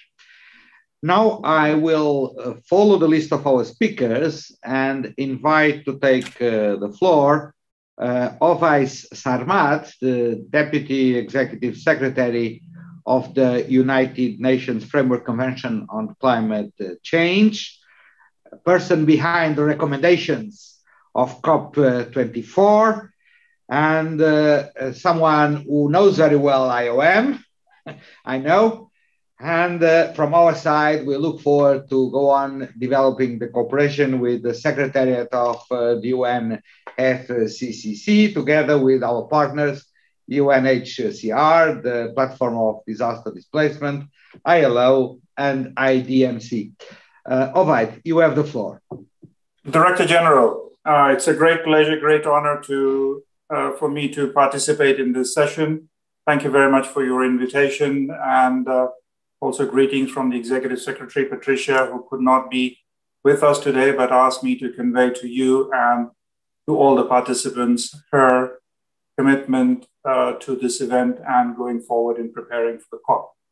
But once again, uh, distinguished panelists, members of the panel, uh, fellow attendees, ladies and gentlemen, as I said, it's a great pleasure to address this very timely discussion, which is so instrumental as we work towards this year's milestone event, which is COP26, that will take place in Glasgow later this year. And I look forward to uh, seeing many of you at that event uh, later this year. And as we work to address the links between climate change and vulnerable and displaced populations throughout the world, this event is very meaningful, extremely timely in preparation uh, for that COP. We welcome the long-standing support and engagement of the International Organization for Migration, with which I've had a very long relationship and uh, uh, extremely fortunate to be able to uh, continue to contribute to the discussion that concerns both IOM and the UN Climate Change Secretariat, uh, where I am at the moment. It's heartening to see us working together to strengthen the important links between human mobility and climate change under the UNFCCC and Global Compact on Migration. Dear colleagues, we must uh, pay particular attention to this great urgency, but also the optimism and momentum that has now been generated. We are reminded that we are in crucial days, that many ultimately determine whether we successfully address climate change globally or not. The recent World Meteorological recent findings show that concentrations of the major greenhouse gas emissions continue to increase despite a temporary reduction in emissions in 2020 due to COVID 19. 2020 was one of the three warmest years on record, despite a cooling because of the La Nina event. And the past six years, including 2020, are likely to be the sixth warmest years on record. And many of those records are, are being broken as we speak. Consequently, wildfires, droughts, flooding, and other extreme weather events are increasing in frequency and ferocity and they're affecting millions throughout the world, including our already very vulnerable populations. That's just what, what's happening on land. The oceans are warming and sea levels are rising, as we just heard from the distinguished panelists from Bangladesh, putting millions of people directly in danger. This issue isn't going away because it's not convenient, just because we are already dealing with a pandemic. Quite the opposite. What we are seeing is only a preview of events if we don't get our collective acts together and address climate change domestically, internationally, and especially multilaterally. Not next year, not by 2050, this year. Of those millions of people affected, the most vulnerable suffer most of all. That's why when we talk about climate change in terms of numbers, statistics, and economies, we must never forget that the true impact of climate change is measured in human terms. Lives and livelihood we can save, suffering we can avoid, every one of them uh, who count. Where people cannot get out of harm's way, we see mass displacement. People on the move, not because of choice, but because of desperation. Climate change is the heart and the great string tied to many of the world's most significant challenges well outlined in the SDGs, and issues around displacement and migration are no different. Despite all the evidence, all the numbers, all the statistics, all the displacement, all the human misery, nations still have to move the Paris Agreement from adoption to implementation. And I'll talk more about it in a minute. They still have to fulfill their commitments under it.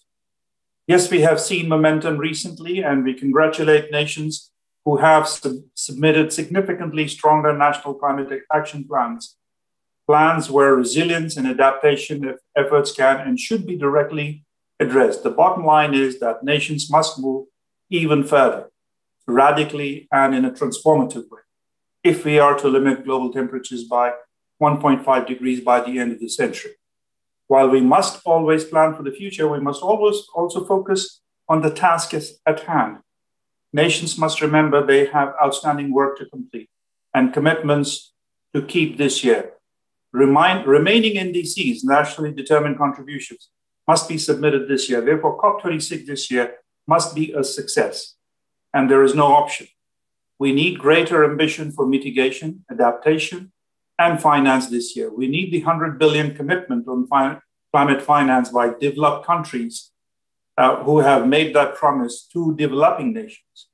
And that has to be fulfilled this year. And to launch the work on the new long term climate finance goal. And why is that important to this panel? Let me share that with you. Because, as I mentioned earlier, climate change is not some distant threat. It is impacting vulnerable people throughout the world right now. The Paris Agreement is now more than five years old.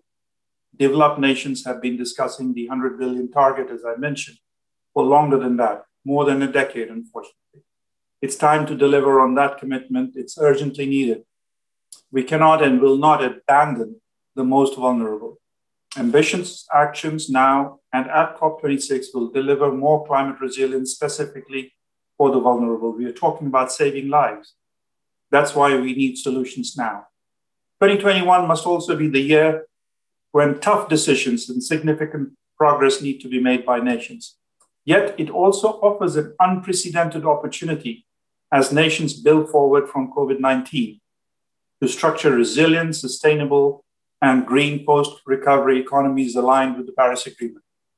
The milestone event for COP26 is now crucial. And COP26 is nothing less than a credibility test and a trust building effort of our collective efforts to address climate change, implement the Paris Agreement, and continue building uh, ambition.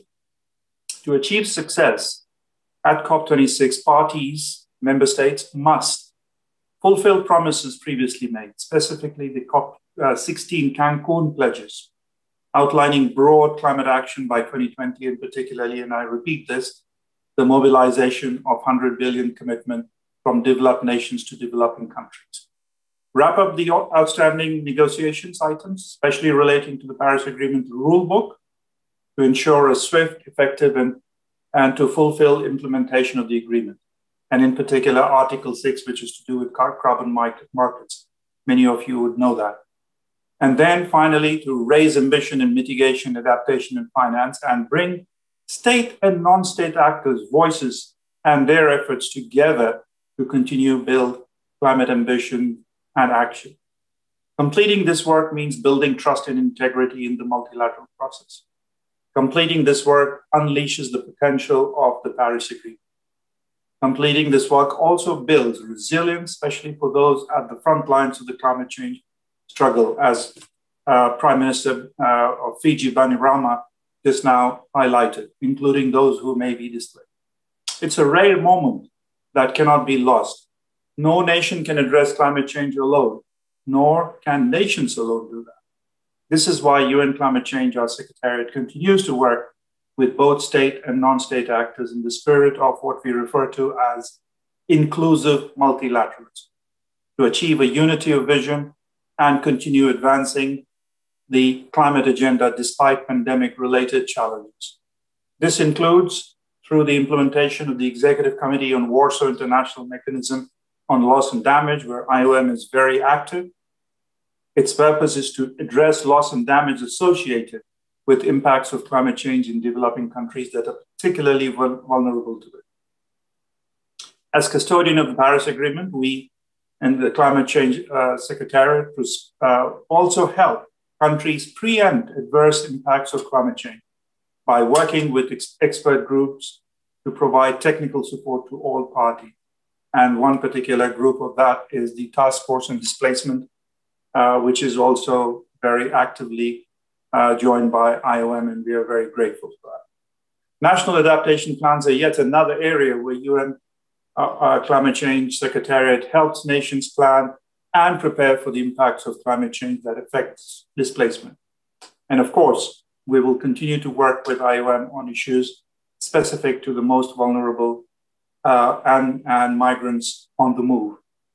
We are also committed to collaborating with the UN Network on Migration, which we are seeing a, a great progress that the uh, network is making. And I'm very, very pleased to highlight that uh, we are working very closely with the network and will uh, would like to in, reinforce our collaboration there. And we are helping to co-lead the new migration and climate change activity in the uh, UN Migration Network annual work, work plan and other network members, with other network members. This joint work across the UN system will help us create synergies with the implementation of Global Compact for safe, orderly, and regular migration. Colleagues, we face incredible challenges ahead, but I ask you to consider this, to consider your central part in the important times in which we live.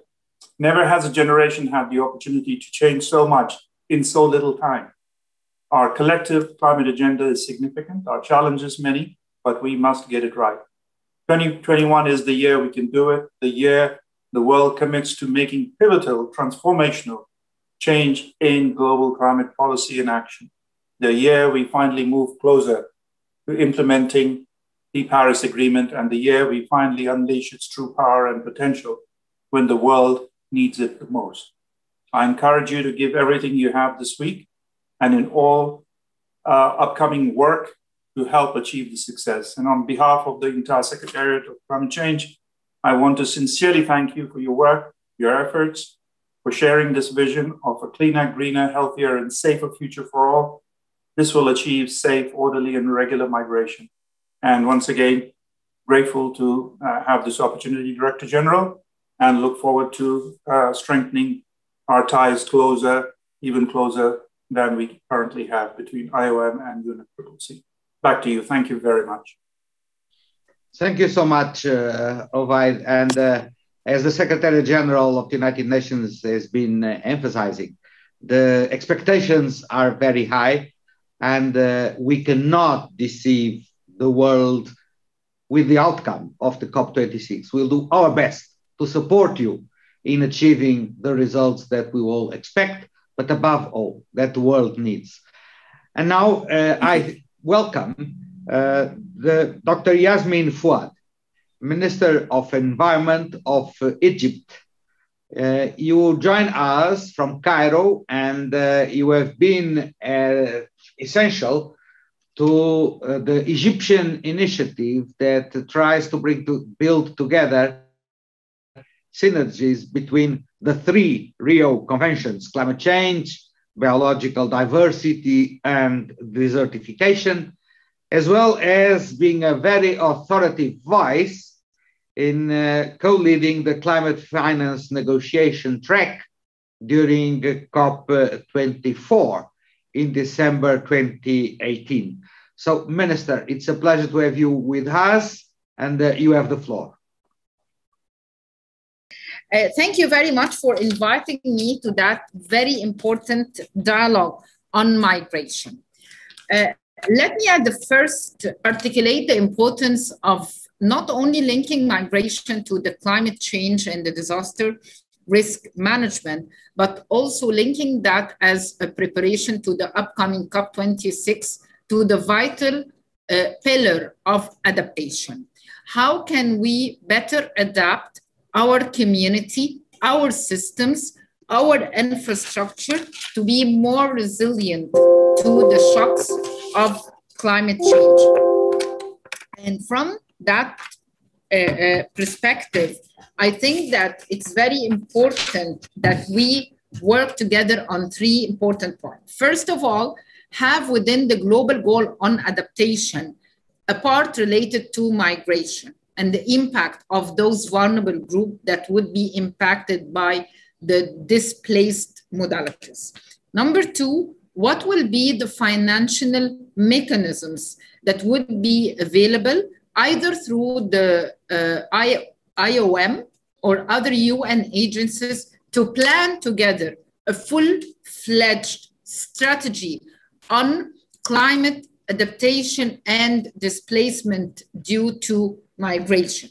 Number no, due to adaptation, due to climate change impact. Number three, which is very important, stress on the importance that jointly with our uh, uh, developed countries work on uh, like minimizing or de-risking the potential of the migration, not only through the financial mechanisms, but through uh, local adaptation community-based projects on areas that we know for sure that it is very vulnerable. Let me give a very quick example on that. Egypt started like last year developing its own interactive map. And this interactive map simply says whenever we're having an infrastructure project or demonstration or establishment of a new in, a city, urban city, we put that on the map to see what will be the impact of the climate change on that very small area and on the jobs that are available and on the community. Will the community be displaced? Yes or no, especially with the Nile Delta being uh, one of the most vulnerable areas that will heavily be impacted to climate change. So finally, having technology, financial mechanisms, solidarity and coordination of having a strategy on how best can we serve those communities in the vulnerable areas and most of all having this part as part of the heart of the global goal on adaptation within the upcoming cop26 thank you and over to you. Thank you so much minister for having called the attention not just on the fact that uh, climate change impacts on vulnerable groups especially migrants but also those who are on the move can generate uh, climate impacts.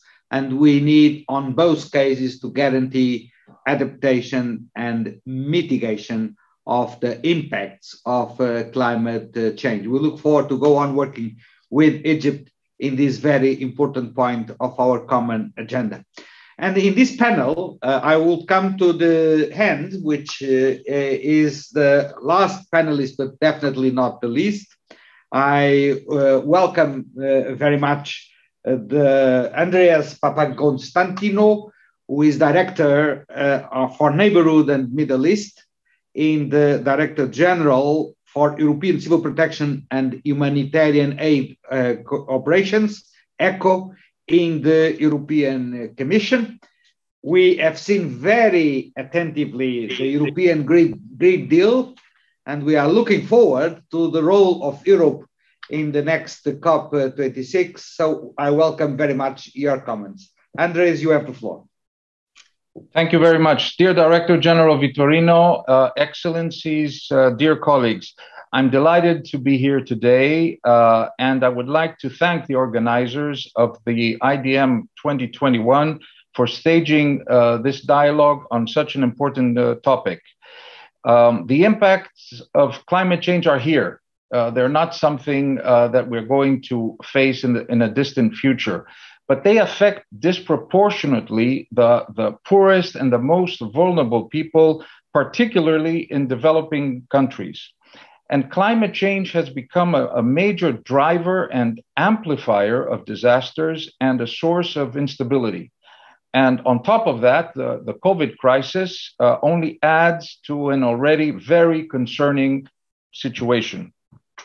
Climate change is a priority, as you mentioned, dear Director General, for the European Commission and the European Union. Our ability to respond would transform lives. And equally, migration is a priority for us. And I'm glad to see that we are on the same page since migration and climate change take center stage also in the IOM's strategic vision and strategic framework. And at the European Commission level, we are working across all policies, also with like minded actors and member states in developing our thinking and preparing our actions. On the COP26, uh, which you rightfully uh, called an important milestone, and we fully agree. We are aware that, in spite of the growing humanitarian impact of climate change, far too little climate finance is reaching the most vulnerable countries.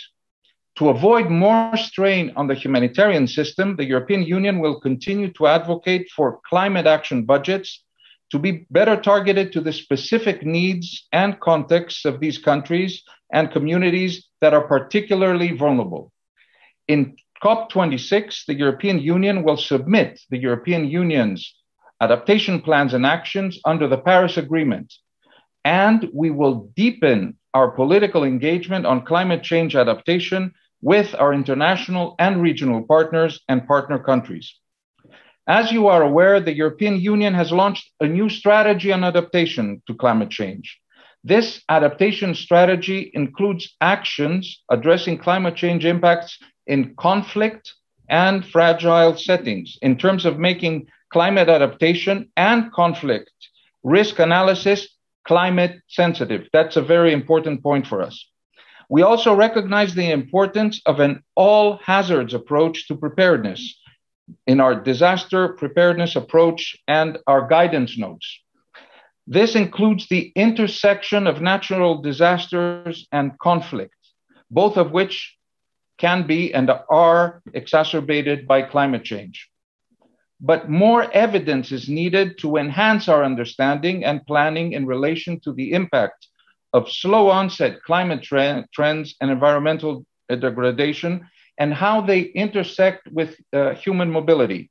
This is already being addressed in the work of organizations such as yours, the IOM, and also within the UNFCCC.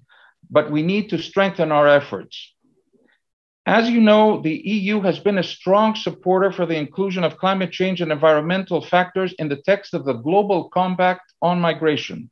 We will continue to promote actions that integrate human mobility within disaster risk reduction policies, preparedness, and early warning mechanisms, as well as climate adaptation strategies. Regional activities can also support the implementation, the follow up, and review process of the climate and environmental elements of the Global Compact for Migration at the regional level. It is our responsibility to address climate related displacement and human mobility challenges through meaningful and systemic solutions, meaning solutions that bring together early warning tools and preparedness actions for better responding to climate related emergencies. Combined with prevention, these solutions can offer sustainable futures for individuals who live in the most vulnerable environments. The EU is supporting these, solution, uh, these solutions through its climate adaptation, its disaster risk reduction, and emergency preparedness set of actions. And we are investing, heavily investing in early warning systems at country and community level, also globally via our Copernicus Emergency Management Service. From a humanitarian perspective, we strongly promote the integration of climate and environmental concerns into our humanitarian aid operations. Additionally, we prioritize anticipation and early actions as part of our preparedness approach to anticipate risks, to reduce the needs and mitigate impacts on the most vulnerable communities. This includes climate change related risks, but also other risks that cannot be ignored. And one of them is the epidemics or conflict, and considering how we are considering how risks can be interconnected. All our sectoral interventions also include climate and protection concerns. We target as I said, the vulnerable people based on needs, irrespective of status. This has also been one of the priority objectives in our recently agreed by the College of Commissioners EU communication on humanitarian aid, adopted under the leadership of Commissioner Lenarcic, with, with the aim of mainstreaming climate change and disasters into humanitarian aid in strengthening the nexus approach and the aim of building resilience of vulnerable communities, including those who are forcibly displaced. We intend to look more into a multi hazard preparedness approach, focusing on natural hazards along with man made threats like conflict, violence, epidemics, like COVID. We want to promote a coordinated approach that links humanitarian and development assistance that's important to bring together risk reduction and resilience, a pure nexus approach.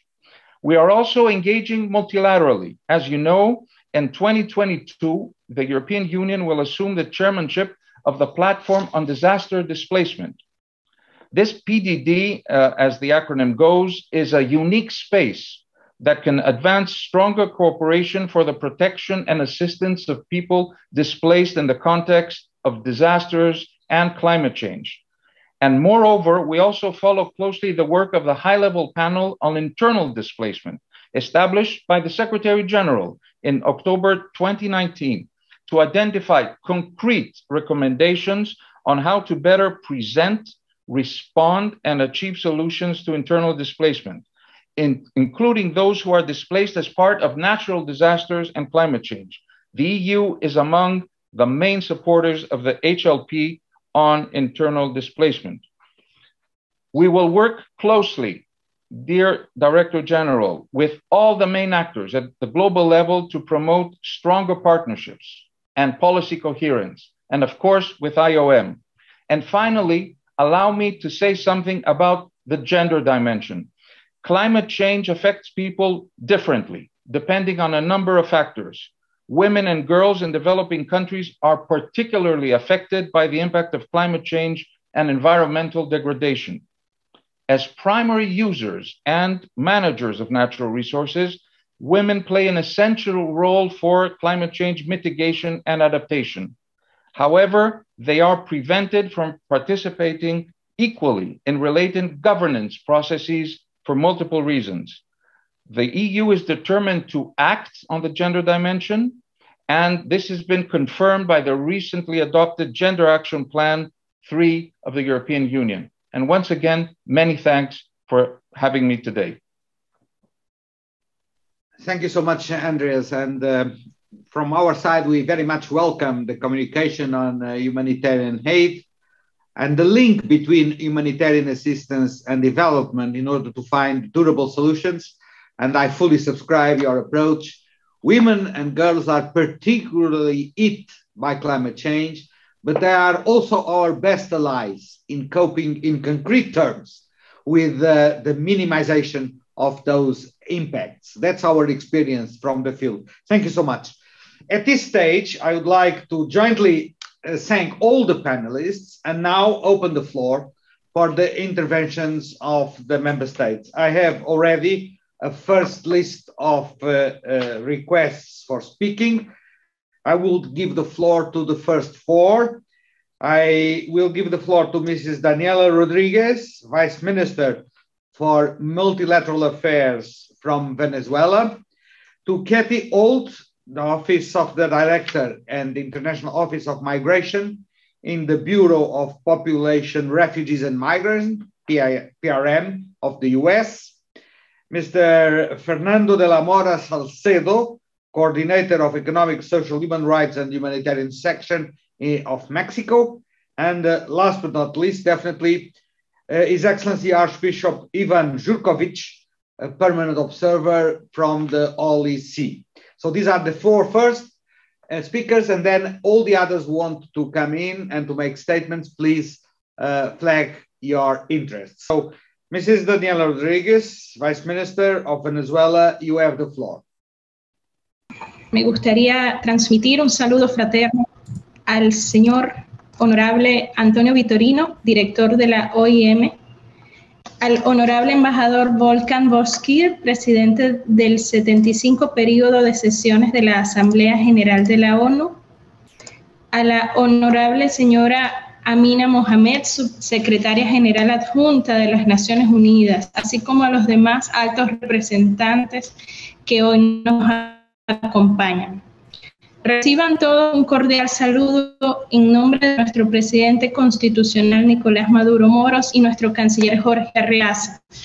La República Bolivariana de Venezuela agradece a la Organización Internacional de las Migraciones por la realización de este diálogo internacional sobre la migración, brindando además un enfoque innovador al abordar las migraciones generadas por la degradación del medio ambiente y el clima, lo cual sin duda es uno de los mayores retos que debemos enfrentar como humanidad actualmente.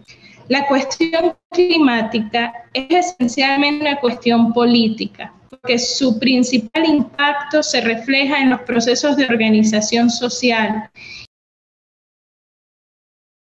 We will move ahead and then we will come back when the connection is reestablished. So, Now I give the floor to Kathy Holt from uh, PRM, United States. I see her on the screen.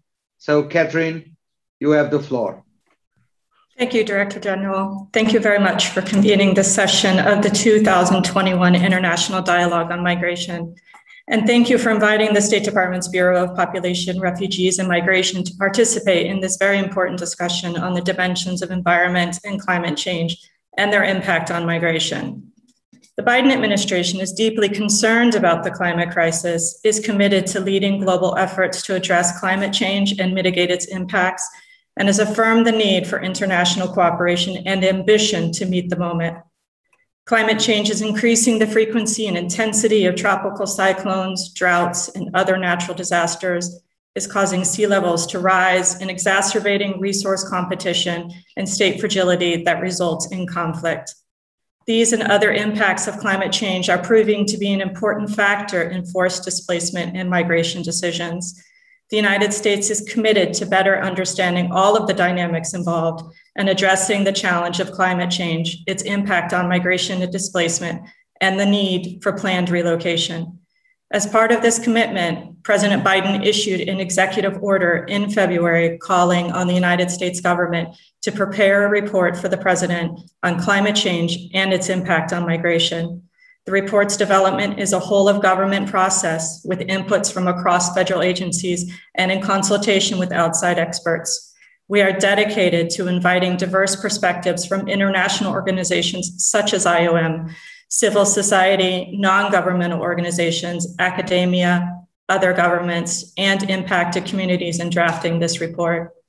The report will consider international security implications, options for protection and resettlement of individuals displaced directly or indirectly by climate change, US foreign assistance to address climate change and migration, and multilateral engagement. The report will also assess and recommend ways for the United States to work collabor- collaboratively with other countries, international organizations and bodies, non governmental organizations, and localities on the intersection of climate change and migration.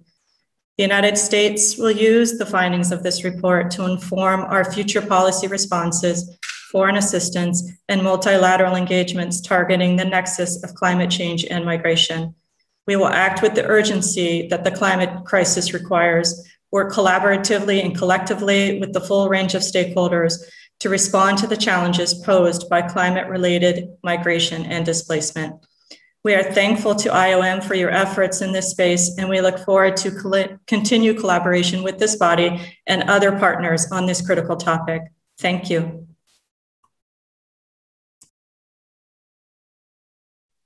Thank you so much uh, for your uh, contribution, and we very much look forward to the uh, presidential uh, order execution. And uh, I think that uh, it is extremely important to count on the US engagement in this agenda.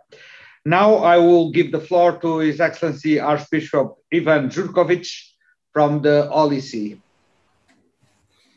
Thank you, Director General. Uh, first off, I would like to apologize on behalf of uh, His Excellency Archbishop Jurkovic, who uh, is, has another engagement that came up uh, urgently. Um, but on his behalf, I would uh, share his statement. Director General, the Holy See delegation wishes to thank the panelists for their insightful presentations on a subject which is very dear to Pope Francis. In highlighting the effects of climate change in the lives of millions of displaced people, he affirmed that to see or not to see is the question that should lead us to the answer and action together. Unlike the COVID 19 pandemic, which came upon us unexpectedly, the climate crisis has been unfolding for years, and yet it remained unaddressed until recently. The crippling consequences of the climate crisis is already a reality for millions of people worldwide. While climate change occurs everywhere, the capacity to respond and adapt to it varies greatly. It is the poor and most vulnerable who are disproportionately affected by the ecological and climate crises. Director General, it is vital to acknowledge that the climate crisis has a human face in this regard, this delegation appreciates the work carried out by IOM to highlight the impact of climate change and environmental de- degradation on the migratory movements through the Atlas of Environmental Migration. When people are forced to flee because their local environment has become uninhabitable, it might look like a process of nature, something inevitable. However, the deteriorating climate is very often the result of poor choices and destructive activity, of selfishness and neglect that set humankind at odds with creation, our common home.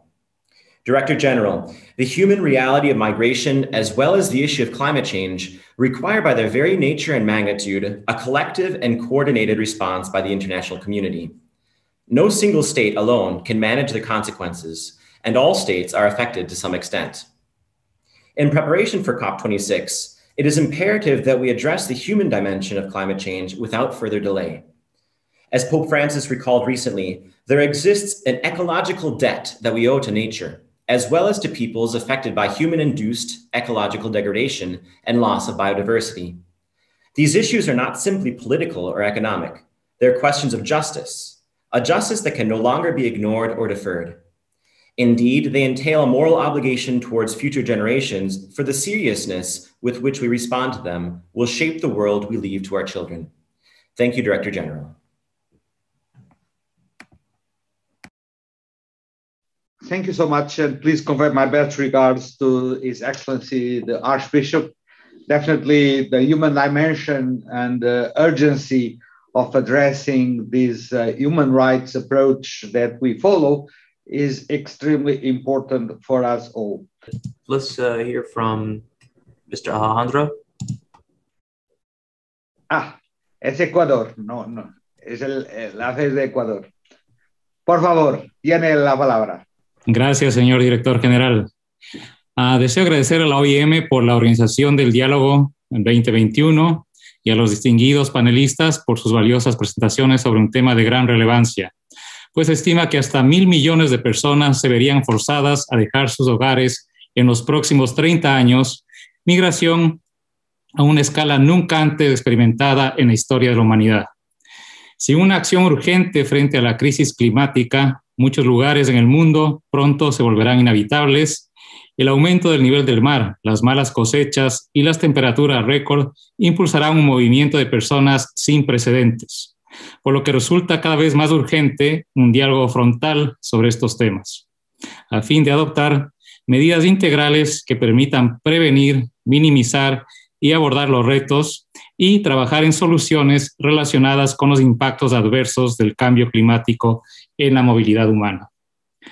El Ecuador ha incluido entre los objetivos de su Estrategia Nacional de Cambio Climático y su contribución nacional determinada la adopción de medidas para garantizar los derechos de los grupos vulnerables con un enfoque transversal de género y una gestión de riesgo que prioriza su atención. Actualmente se trabaja en un reglamento para hacer efectiva una visa humanitaria para las víctimas de desastres naturales o ambientales. Adicionalmente, se está fortaleciendo dicho enfoque con nuevas políticas públicas como el Plan Nacional de Adaptación al Cambio Climático, la Estrategia Nacional de Financiamiento Climático y el Plan de Descarbonización para el 2050. Director General, es claro que el cambio climático está impulsando la migración. Sin embargo, esta dimensión humana de la crisis climática aún no ha captado completamente la atención de la comunidad internacional. En ese sentido, consideramos que la Conferencia de Naciones Unidas sobre el Cambio Climático COP26 constituye una gran oportunidad para abordar este problema y establecer políticas sostenibles para garantizar el bienestar, la dignidad y los derechos de las personas en movilidad humana y las comunidades locales por igual en el contexto del cambio climático.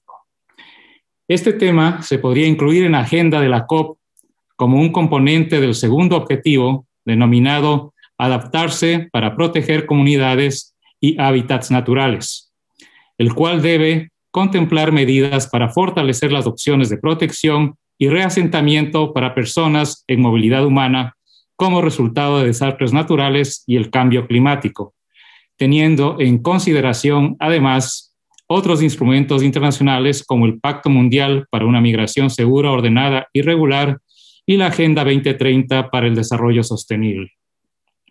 Vivimos una década crucial en la que es urgente tanto reducir las emisiones globales de CO2 como atender futuras necesidades de protección y evitar el desplazamiento forzado como consecuencia del cambio climático. Muchas gracias.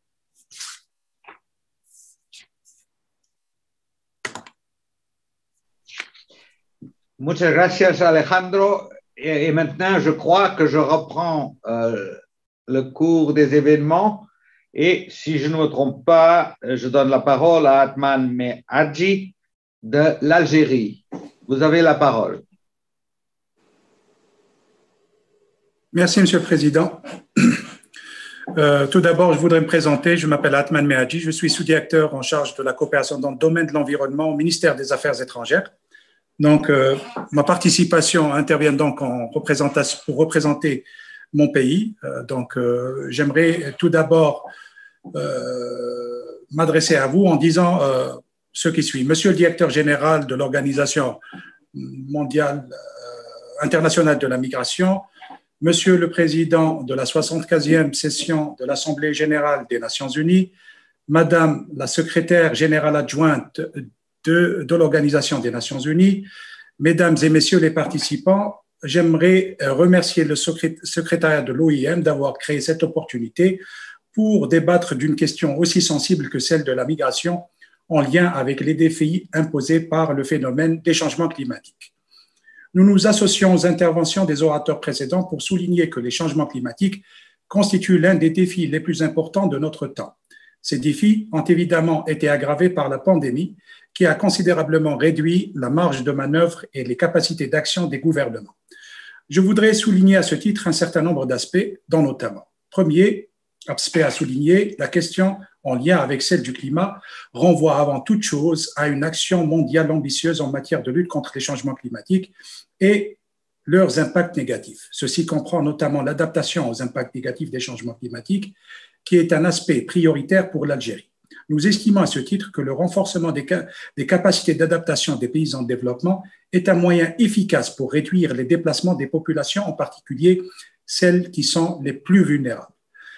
C'est pourquoi nous soutenons l'intervention de Madame la ministre de l'Environnement d'Égypte en soulignant la nécessité d'œuvrer pour la définition d'un objectif global d'adaptation, lequel est indissociable de l'objectif de pourvoi de moyens de mise en œuvre prévisibles, adéquats suffisant pour les pays en développement.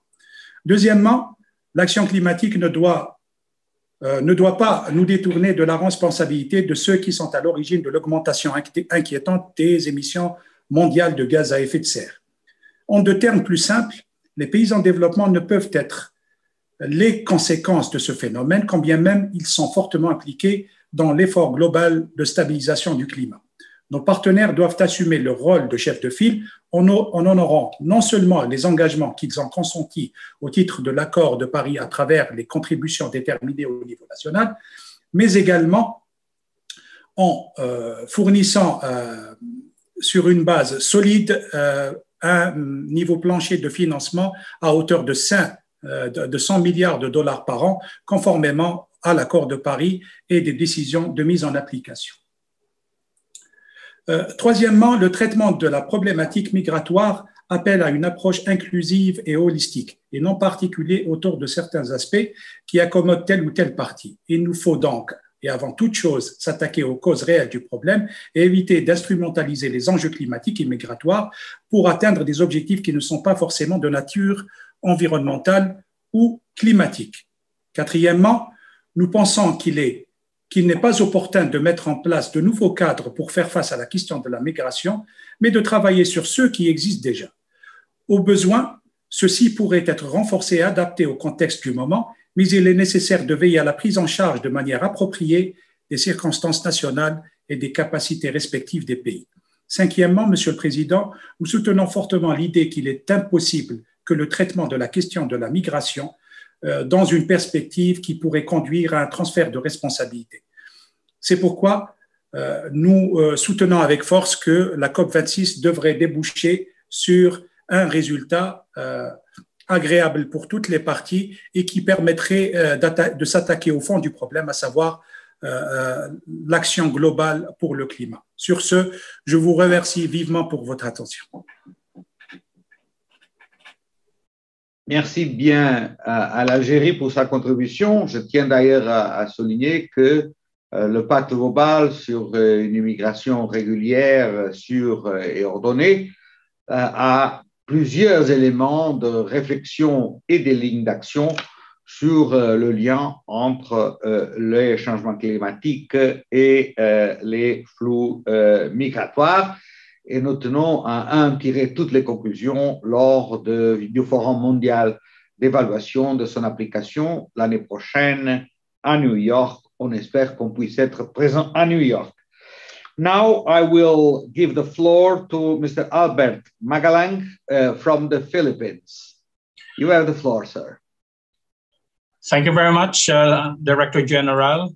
So, a warm welcome and warmest greetings from the Philippines literally warm Philippines. So greetings also to the panelists, participants, and organizers of this uh, first dialogue on migration, which is a very timely and urgent international discourse dissecting the interrelationships and nexus between and among three intersecting issues climate change and environmental degradation and their impacts on migration.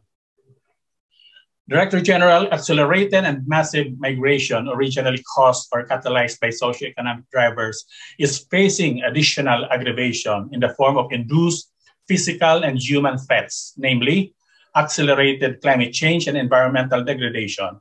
Of course, environmental issues affecting biophysical sources is one of the oldest migration drivers, catalyzing conflicts over scarce resources. But this seems to have been surpassed by the biggest, most comprehensive and pervasive issue of our times, which is climate change. Director General, in olden times, the interrelationship among environmental, social, and economic issues were not so clear or even incomprehensible. But now, even the rapid explosion of the COVID 19 pandemic, a health and therefore a primarily social phenomenon, has been unsurprisingly linked to the two major drivers of climate change and its aggravating impacts on an already degrading environment. In this situation, the ease of global mobility has become a major driver in the spread and reach of this severe health crisis. But, uh, Director General, what is humanity really facing? And how are we to put a stop to the unwanted interactions among these complex, interrelated phenomena? If we analyze closely and honestly, the species at the center of them all, catalyzing or mediating these interactions are humans. Of course, two thirds of the problem can probably be claimed as emanating from natural physical processes, but it cannot be ignored that humanity has altered the pace of physical and socioeconomic interactions such that the natural order of things has been upset the main element at the nexus of these physical and socio-economic processes are humans. Director General, accepting the fact that we, the human species, are key to getting everything back on track is the first important step we have to take. And we did take those first steps. We only have to reflect on what we agreed at the Earth Summit in Rio in 1992 and to execute the essence of the agreements reached, which is Agenda 21 and the two environment-centric conventions, the UN Framework Convention on Climate Change, the Convention on Biolo Biological Diversity. And now we have the migration agreements embodied by the UN Global Compact on Migration and the International Convention on the Protection of the Rights of All Migrant Workers and the members of their families. Director General, let us recall, however, that there are differentiation of, in obligations between sets of parties according to cause and effects of the problems and respective capabilities of parties to determine the solutions. Let us also be cognizant of the fact that setting things back on track to acceptable normalcy would incur costs that some groups of country parties would find difficult to defray. The means of implementation in the form of finance, including for technology acquisition, development, diffusion, and transfer, as well as capacity building, are key to getting us back on pre-crisis and perhaps even on better resilience mode. The modalities of how to make this MOI flow have also been agreed upon. So let us not therefore try and renegotiate these agreed modalities. Primarily unacceptable is the shifting of obligations to parties with less and the least capabilities because they have not had the full know-how, competency, and the financial resources to execute the solutions.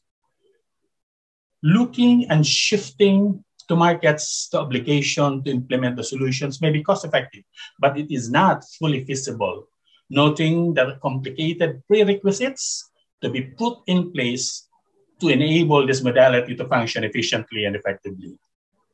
Director General governments which are parties to these agreements have therefore to take direct responsibility for the delivery on commitments.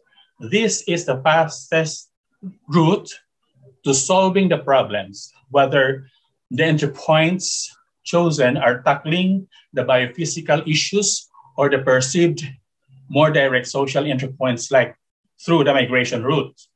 However, as humanity is dealing with risks involving these three issues, it is the logical option to apply the risk management approach, opting for prevention or impact avoidance as the highest or most immediate objective. Secondarily, risk reduction. And lastly, management of manifested impacts in terms of loss and damage when a risk materializes in its full form. Thank you, Director General. Thank you so much. Thank you so much for your very fruitful contribution.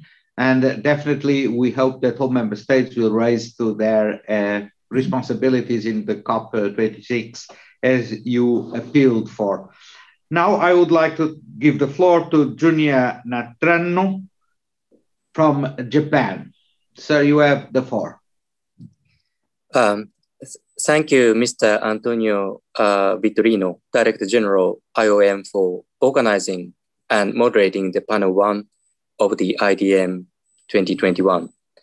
I'm also grateful to distinguished speakers of the panel for your insightful views on migration and displacement in the context of climate change and the environment.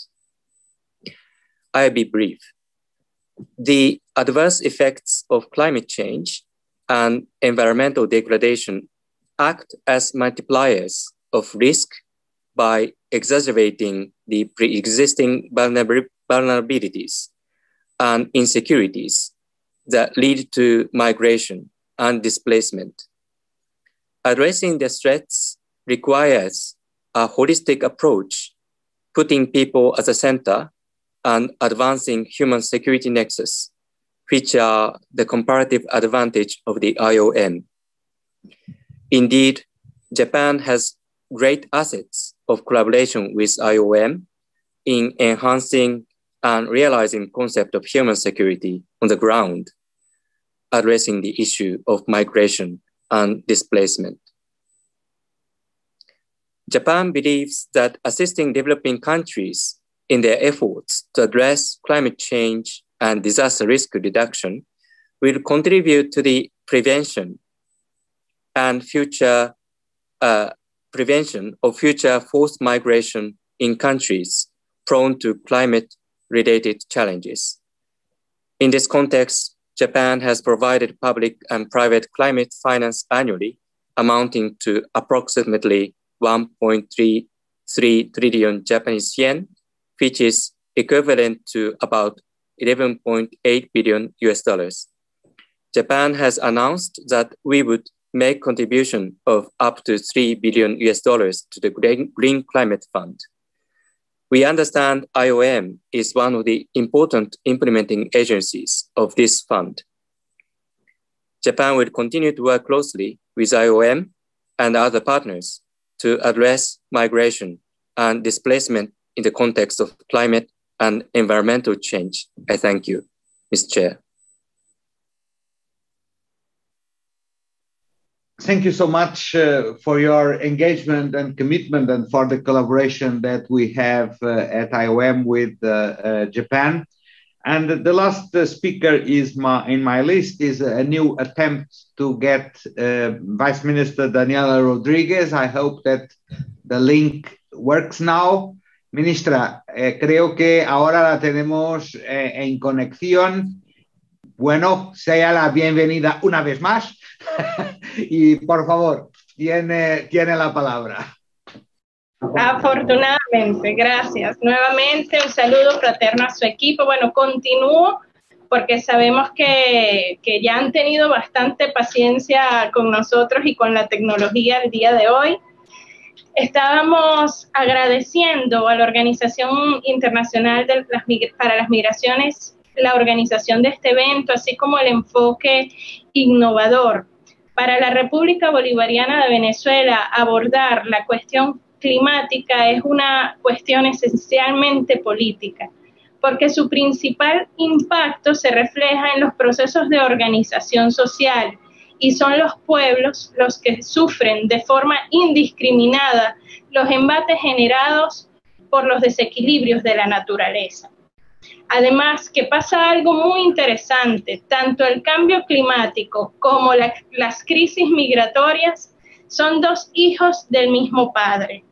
Que es el modelo civilizatorio capitalista, caracterizado por la instrumentalización de la naturaleza, por la explotación, por la destrucción de los hábitats y por la exacerbación del consumo. Procesos que van acompañados de una acumulación desmedida del capital y que traen como consecuencia la acumulación de desigualdades, que sin duda tienen un impacto nefasto tanto en la naturaleza como en la sociedad misma. Por eso, para nosotros es imprescindible abordar las causas estructurales de la migración, así como las, causas estructurales de que nuestro planeta esté enfrentando el día de hoy la sexta mayor extinción en toda la historia natural. Hay que hablar sin duda del proceso de la desigualdad, del consumo y, de, y del neoliberalismo y el capitalismo como modelo civilizatorio. Ahora, yéndonos más a, a la situación particular de nuestro país, nosotros también, Venezuela, tenemos que enfrentar importantes retos desde el punto de vista del cumplimiento de los compromisos internacionales de esta materia y para garantizar la protección de nuestros hábitats y de nuestro pueblo. Venezuela es un, país que ha suscrito y cumple cabalmente con las disposiciones, con el Pacto Global para Migración y también con la Convención este, de Naciones Unidas contra el Cambio Climático. Nuestro país tendrá que eh, enfrentar, según estudios, un incremento de alrededor de 5 grados para finales del año para finales del siglo, lo cual tendrá un impacto en la reorganización poblacional interna. Actualmente, más del 19% de nuestra población se encuentra en zonas costeras, zonas que se verán afectadas también por estas transformaciones de los entornos naturales. Otro reto adicional que enfrenta nuestro país es la práctica progresiva de algunas potencias de imponer medidas coercitivas unilaterales que afectan no solo las políticas de mitigación nacionales y la preparación contra los retos en el marco de la lucha del cambio climático y de la migración, sino también que afectan el cumplimiento de, los compromisos este, establecidos en el marco de la Convención con el Cambio Climático. Nosotros queremos aprovechar también este espacio para hacer un llamado a la cooperación, a la solidaridad, a la complementariedad y a que los estados se abstengan del uso de medidas coercitivas unilaterales en contra de otros países, porque esto no solo contraviene el derecho internacional público, sino que nos imposibilita de desarrollar relaciones comerciales de cooperación fructíferas que las necesitamos para enfrentar y combatir estos problemas globales, de los cuales sin duda no, no es posible afrontar sino mediante el reconocimiento de la interdependencia de nuestros países y de nuestros pueblos. Reafirmamos nuestro compromiso con el principio de responsabilidades compartidas pero diferenciadas, así como la adopción de medidas efectivas que permitan abordar las causas estructurales de la migración desde un enfoque de, protección de los derechos humanos. Hacemos un llamado también a la cooperación bilateral y multilateral en esta materia. No será posible enfrentar estos retos globales si como región, como países, no nos comunicamos y coordinamos de manera apropiada con base a los principios y propósitos de la Carta y a los objetivos de desarrollo sostenible que sin duda nos unen en esta gran batalla. Bueno, para finalizar, me despido agradeciendo nuevamente al honorable embajador Volkan Boskiv, presidente del 75 periodo de sesiones de la Asamblea General, al honorable señor Antonio Vitorino, director de la Organización Internacional para Migraciones, y a la señora Amina Mohamed, subsecretaria de las Naciones Unidas. Muchísimas gracias y cuenten con la disposición de Venezuela para seguir trabajando conjuntamente en pro del cumplimiento de los objetivos que nos hemos trazado en esta materia.